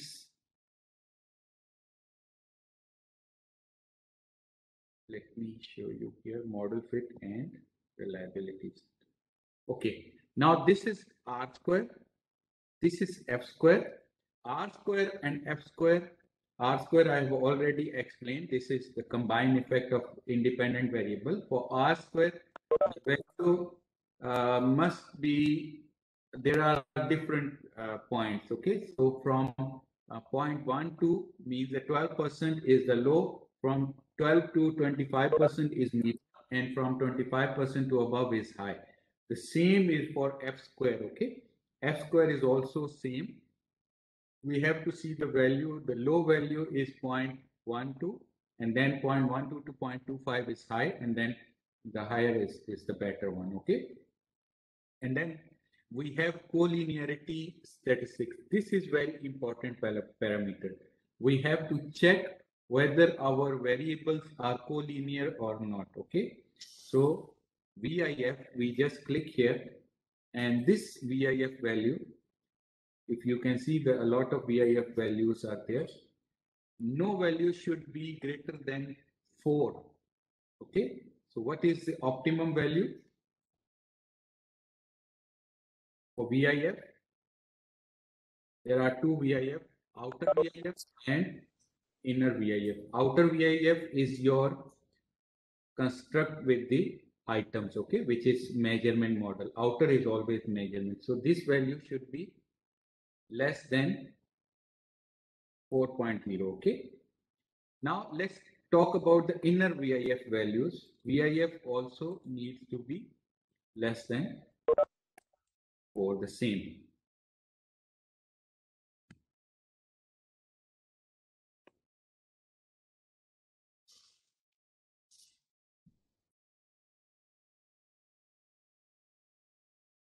Okay, so you can see this value is also less than 4.0. Okay, so this is one more criteria to check whether your variables are collinear or not. The value should be less than 40. Any value less than 40 is okay. Okay, here. Variation inflation factor. VIF, we call it variation inflation factor. So sometimes our variable, they, are having similar uh, collinearity, means that they are similar. In that case, if your one or two variables are similar, it is difficult for you to measure the results. That's why we test the collinearity. Okay, so collinear statistics, it is less than 0. Point, uh, sorry, less than 40. Okay, now how to avoid it removing all items? Remember, when we have collinearity, it means that your variables are collinear. They are same. They are not measuring different things. So we have to remove the complete variable. It's not simple thing. Okay. So But some cases we can check with the outer VIF. If outer VIF, one or two items are more than point, uh, more than 4.0, we can remove them. But if still not settled, then there is a clearly issue with your questionnaire and you cannot predict your result. But this usually don't happen in our result because we have only uh, one to five scale. So mostly uh, the collinearity would not be an issue in your uh, variable. But what people do, sometimes, I track this with many of my students, they they try to play a full game. So what they do, they copy and paste the same variable uh, multiple time and then run the analysis. In that case, it will be detected in the VIF, okay? So variation inflation factors very clearly. So uh, all the data would be same. So we have to avoid this situation. And in my opinion, mostly this VIF will not be a big issue in your data analysis. You can settle it by removing one or two items by looking at outer VIF. Okay. So now we have three things. First R square, then we have F square, then we have uh, VIF. Okay, clear? So we have uh, VIF. So these all are basically, and the path coefficient. These are all basically your structural model. Okay, structural model quality criteria. Clear? So we have R square, we have F square, we have uh, VIF, and we have path coefficient. So four different criteria for your uh, structural model quality. And I believe when you have discriminant validity established in the measurement model, there would be no uh, VIF issue in your data. That is my uh, understanding. Sometimes it happens, but mostly uh, VIF would not be an issue if you have settled your measurement model correctly. Okay, so we can say that the model is perfect and we can proceed with the prediction.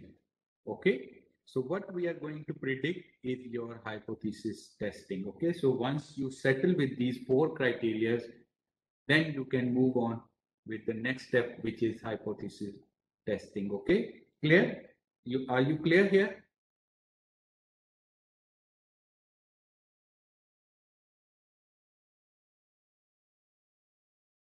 So R square, path coefficient, collinearity diagnostics or collinearity statistics, which is VIF, and your R square, F square path coefficient and collinearity, four things. I think these points are clear. Let's move on. Now we are done with these models. Now let's move to the hypothesis testing. Now what actually is hypothesis testing. Yes, any question?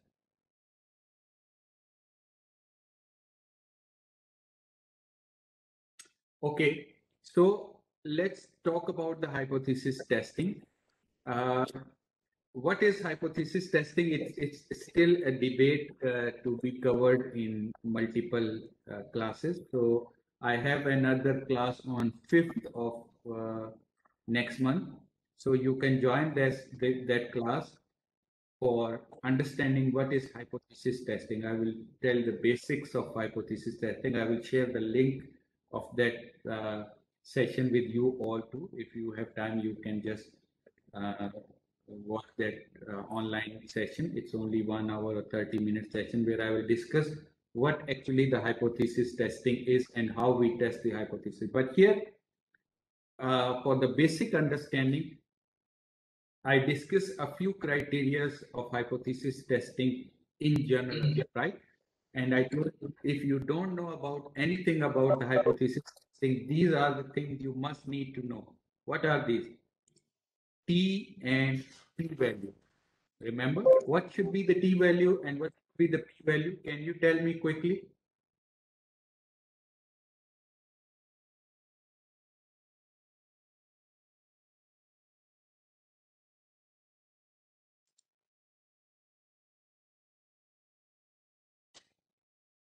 Do you remember I talked about the hypothesis testing and I talked about the p-value and t-value. So what should be the t-value and what should be the p-value to test the hypothesis? Yes, this is something everybody should understand. T value should be greater than 1.96, not less than 1.96, should be greater than 1.96 and P value should be less than 0.05 at 95% confidence. This is standard we always use. If you don't remember anything, even if you don't remember your name, please remember these two values. P value greater than 1.96, P value less than 0.05 in order to accept the hypothesis. Okay, clear? Now, how we do this in smart PLS is very important. Here, this part is all is basically measurement model. So I will select all, click on one, any variable and just control A, press control A, then right click and hide indicators of selected construct because now we don't need these items because we are done with the measurement model. Now we are looking at structural model. If I simply say this is your structural model, okay? Now I have already uh, hide all the items. So it is just showing you the, uh, the sorry the structural model only. There is no measurement model in this picture now. Okay, clear?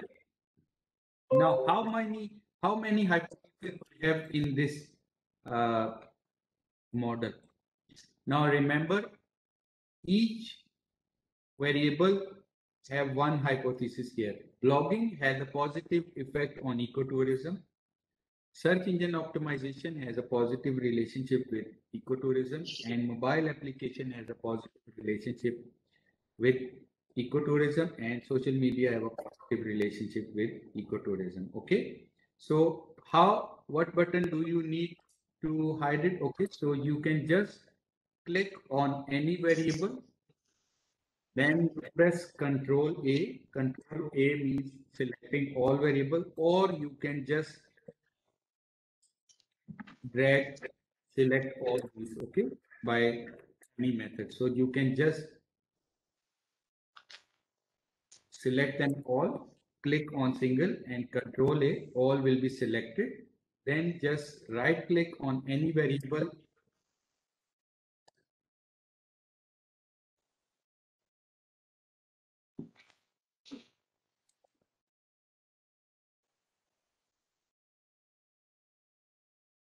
Okay, now you can see that once you right click, you have to click on this hide indicators of selected constructs.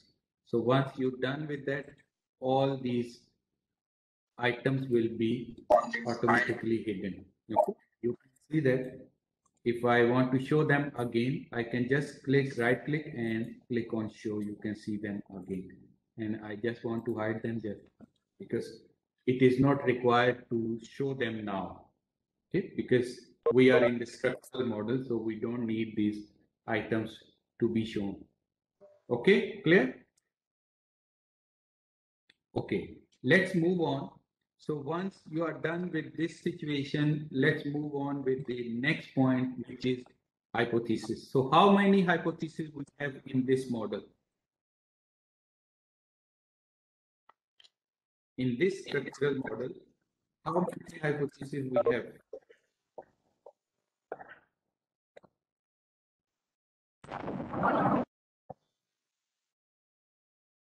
Perfect. Very good. Okay, so we have four hypotheses. Blogging has a positive relationship, SEO have a positive relationship, and uh, mobile application affects ecotourism positively, and social media have a positive relationship with the ecotourism. Now we have one R square and then we have four path coefficients. Okay, so all these things we have explained while we are discussing the quality of structural model. Now it is time to calculate P and T values. Okay, so P and T values, this software cannot directly calculate P or T values. That is why we have to run another method we call it bootstrapping so you can just click on the calculation then you go with the Okay, so bootstrapping, this is the one we are talking about. Okay, so just click on calculation and then click on the bootstrapping. Okay, so just click on calculate and then click on bootstrapping. You will see this window. Okay, now we have a couple of adjustment here we need to understand. Okay, so while we are doing bootstrapping, there are different opinions on subsample. By default, calculates on 500, but research says it should be 1000 to 5000. Okay, so you can just change this subsample to 1000 for your reference. So let me just calculate this subsample to 1000 and then just click start calculation button. It will start the calculations. So what we need to do, we are talking about hypothesis testing and for hypothesis testing, we need t-test and p-values, okay? So when you do this, this is the report you can see while you are doing your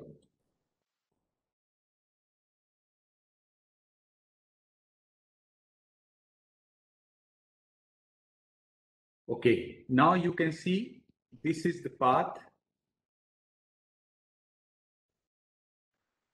This is the path blogging and ecotourism. Let me just make it a little bit more clearer.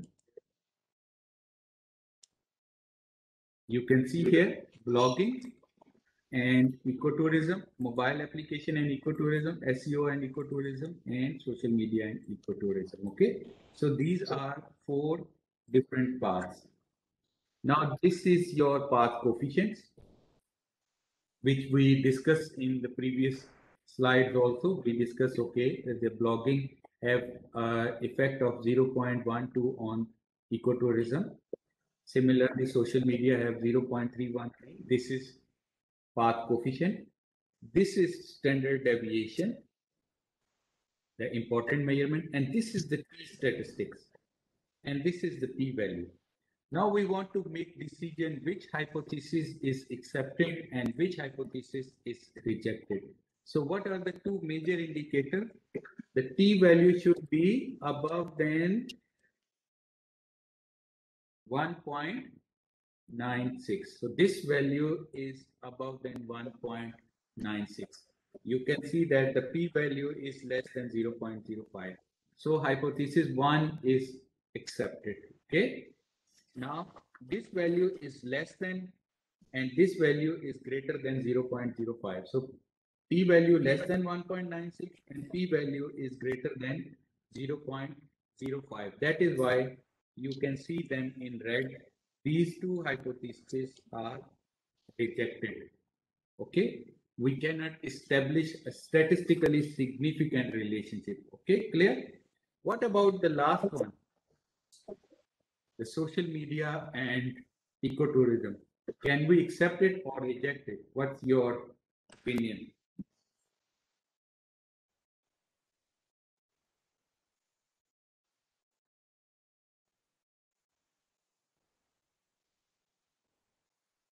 Okay, so you can accept it. And with this, you are done with your analysis. I hope so you understand it very well. Let me just clear this point here. You can see these are, if you can see this model, now you can see this is t value. Okay. So now this value is greater, this value is less, this value is less, this value is greater. So these two rejected and these two accepted. Very simple. Now, with the bootstrapping, we are able to calculate t statistics and p value from which we can analyze our hypothesis, which one is accepted and which one is rejected. Here, I want to tell you one more important thing. If you see on the left side, you can see this.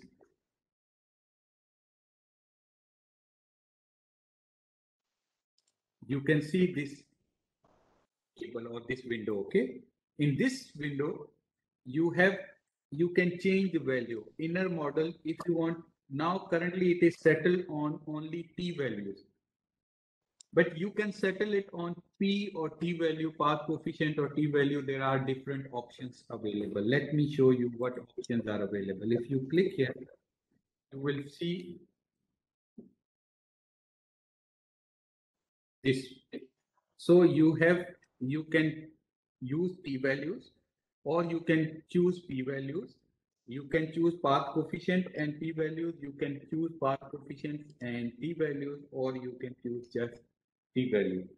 So I want to see path coefficients and p-values in this model. Okay, so I'll just calculate, I will click here, path coefficients and p-value. Now you see the model is showing the path coefficient which was previously and with them in the brackets you can see the p values okay now this is path coefficient and this is p value so from here we can analyze very clearly that the first hypothesis if i explain that in simple way the blogging has an effect of 0.210 on ecotourism with the p-value 0.000 which is less than 0.05 and the p-value is greater than 1.96 which means that there exists a significant relationship or significant positive relationship between blogging and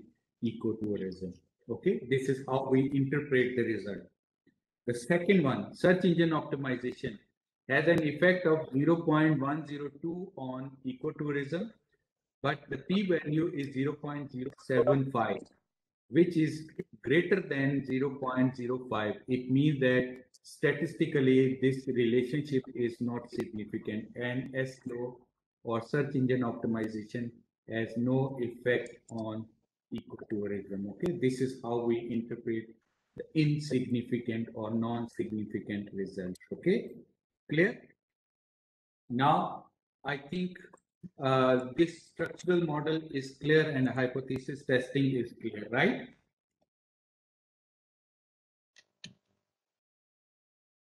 So any question?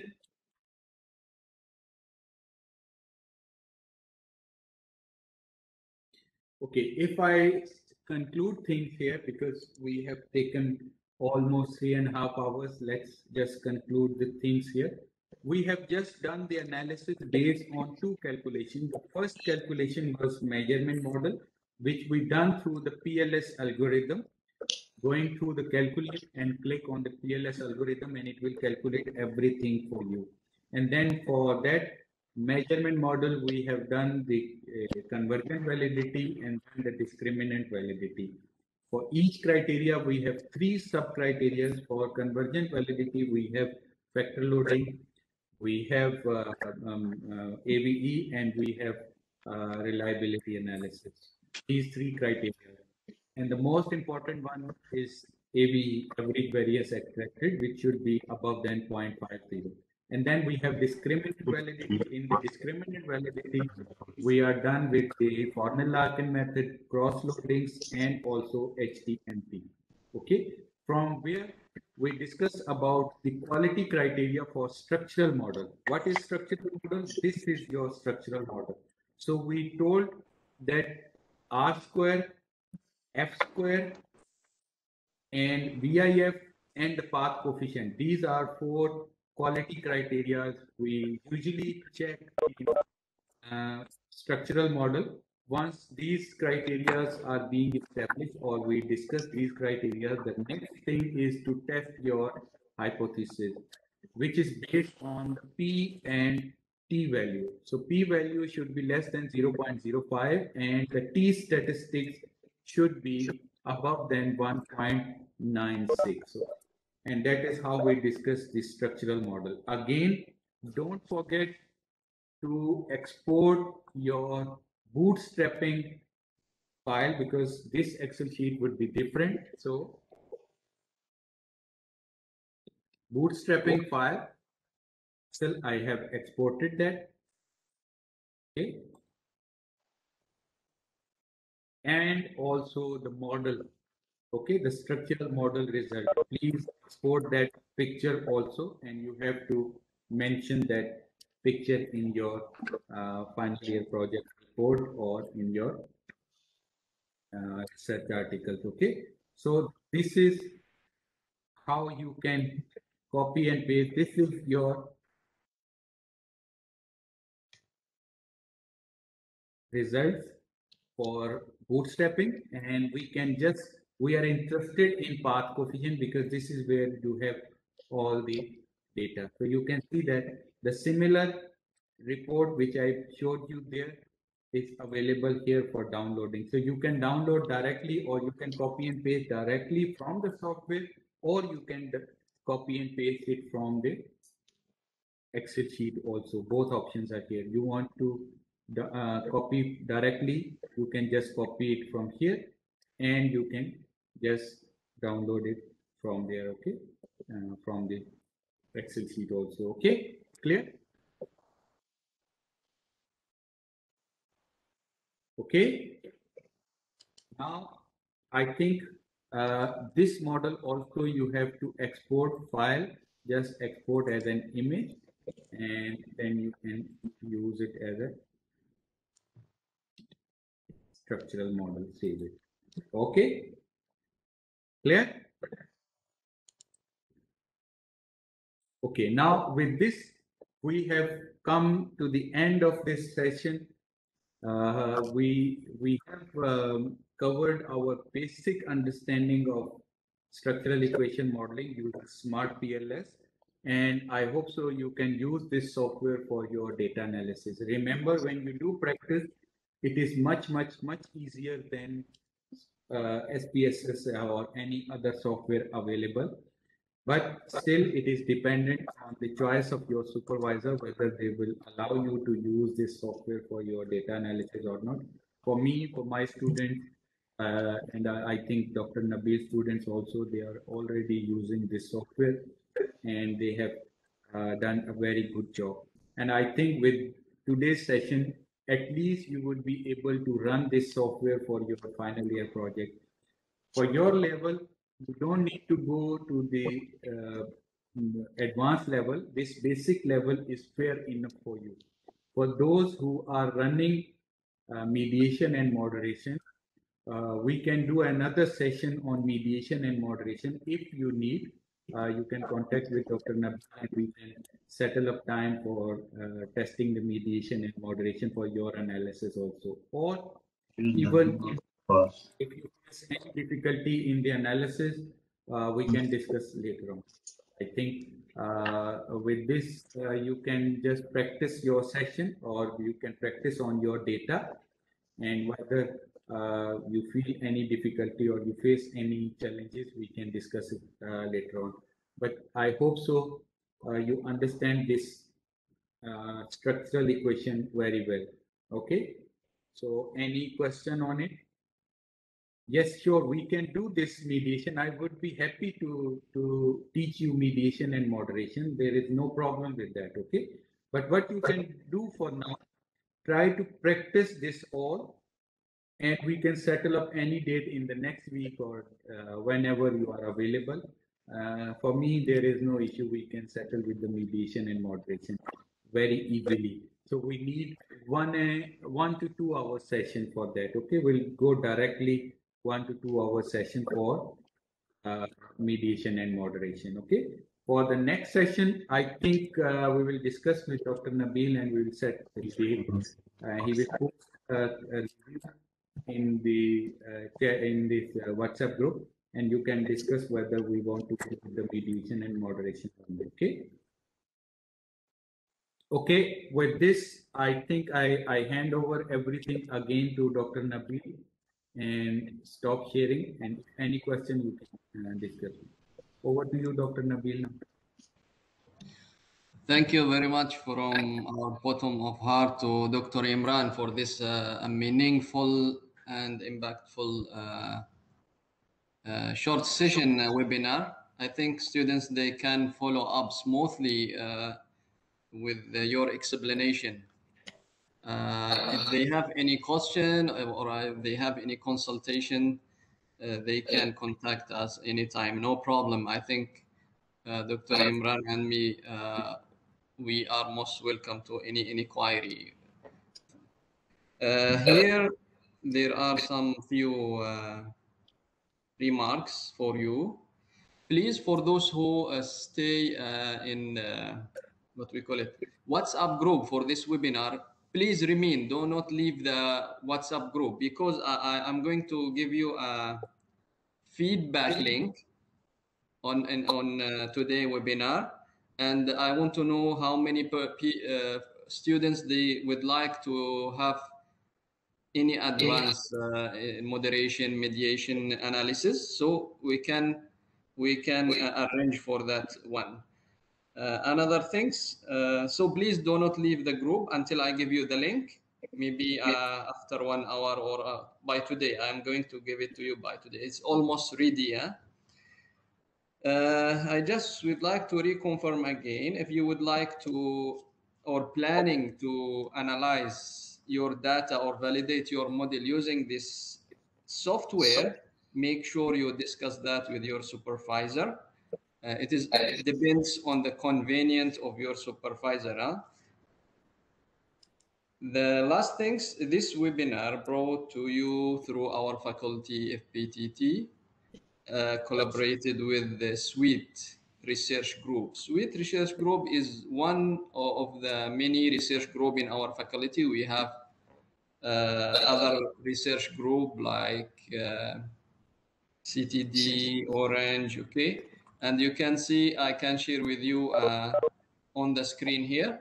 I can share with you the website and I will send.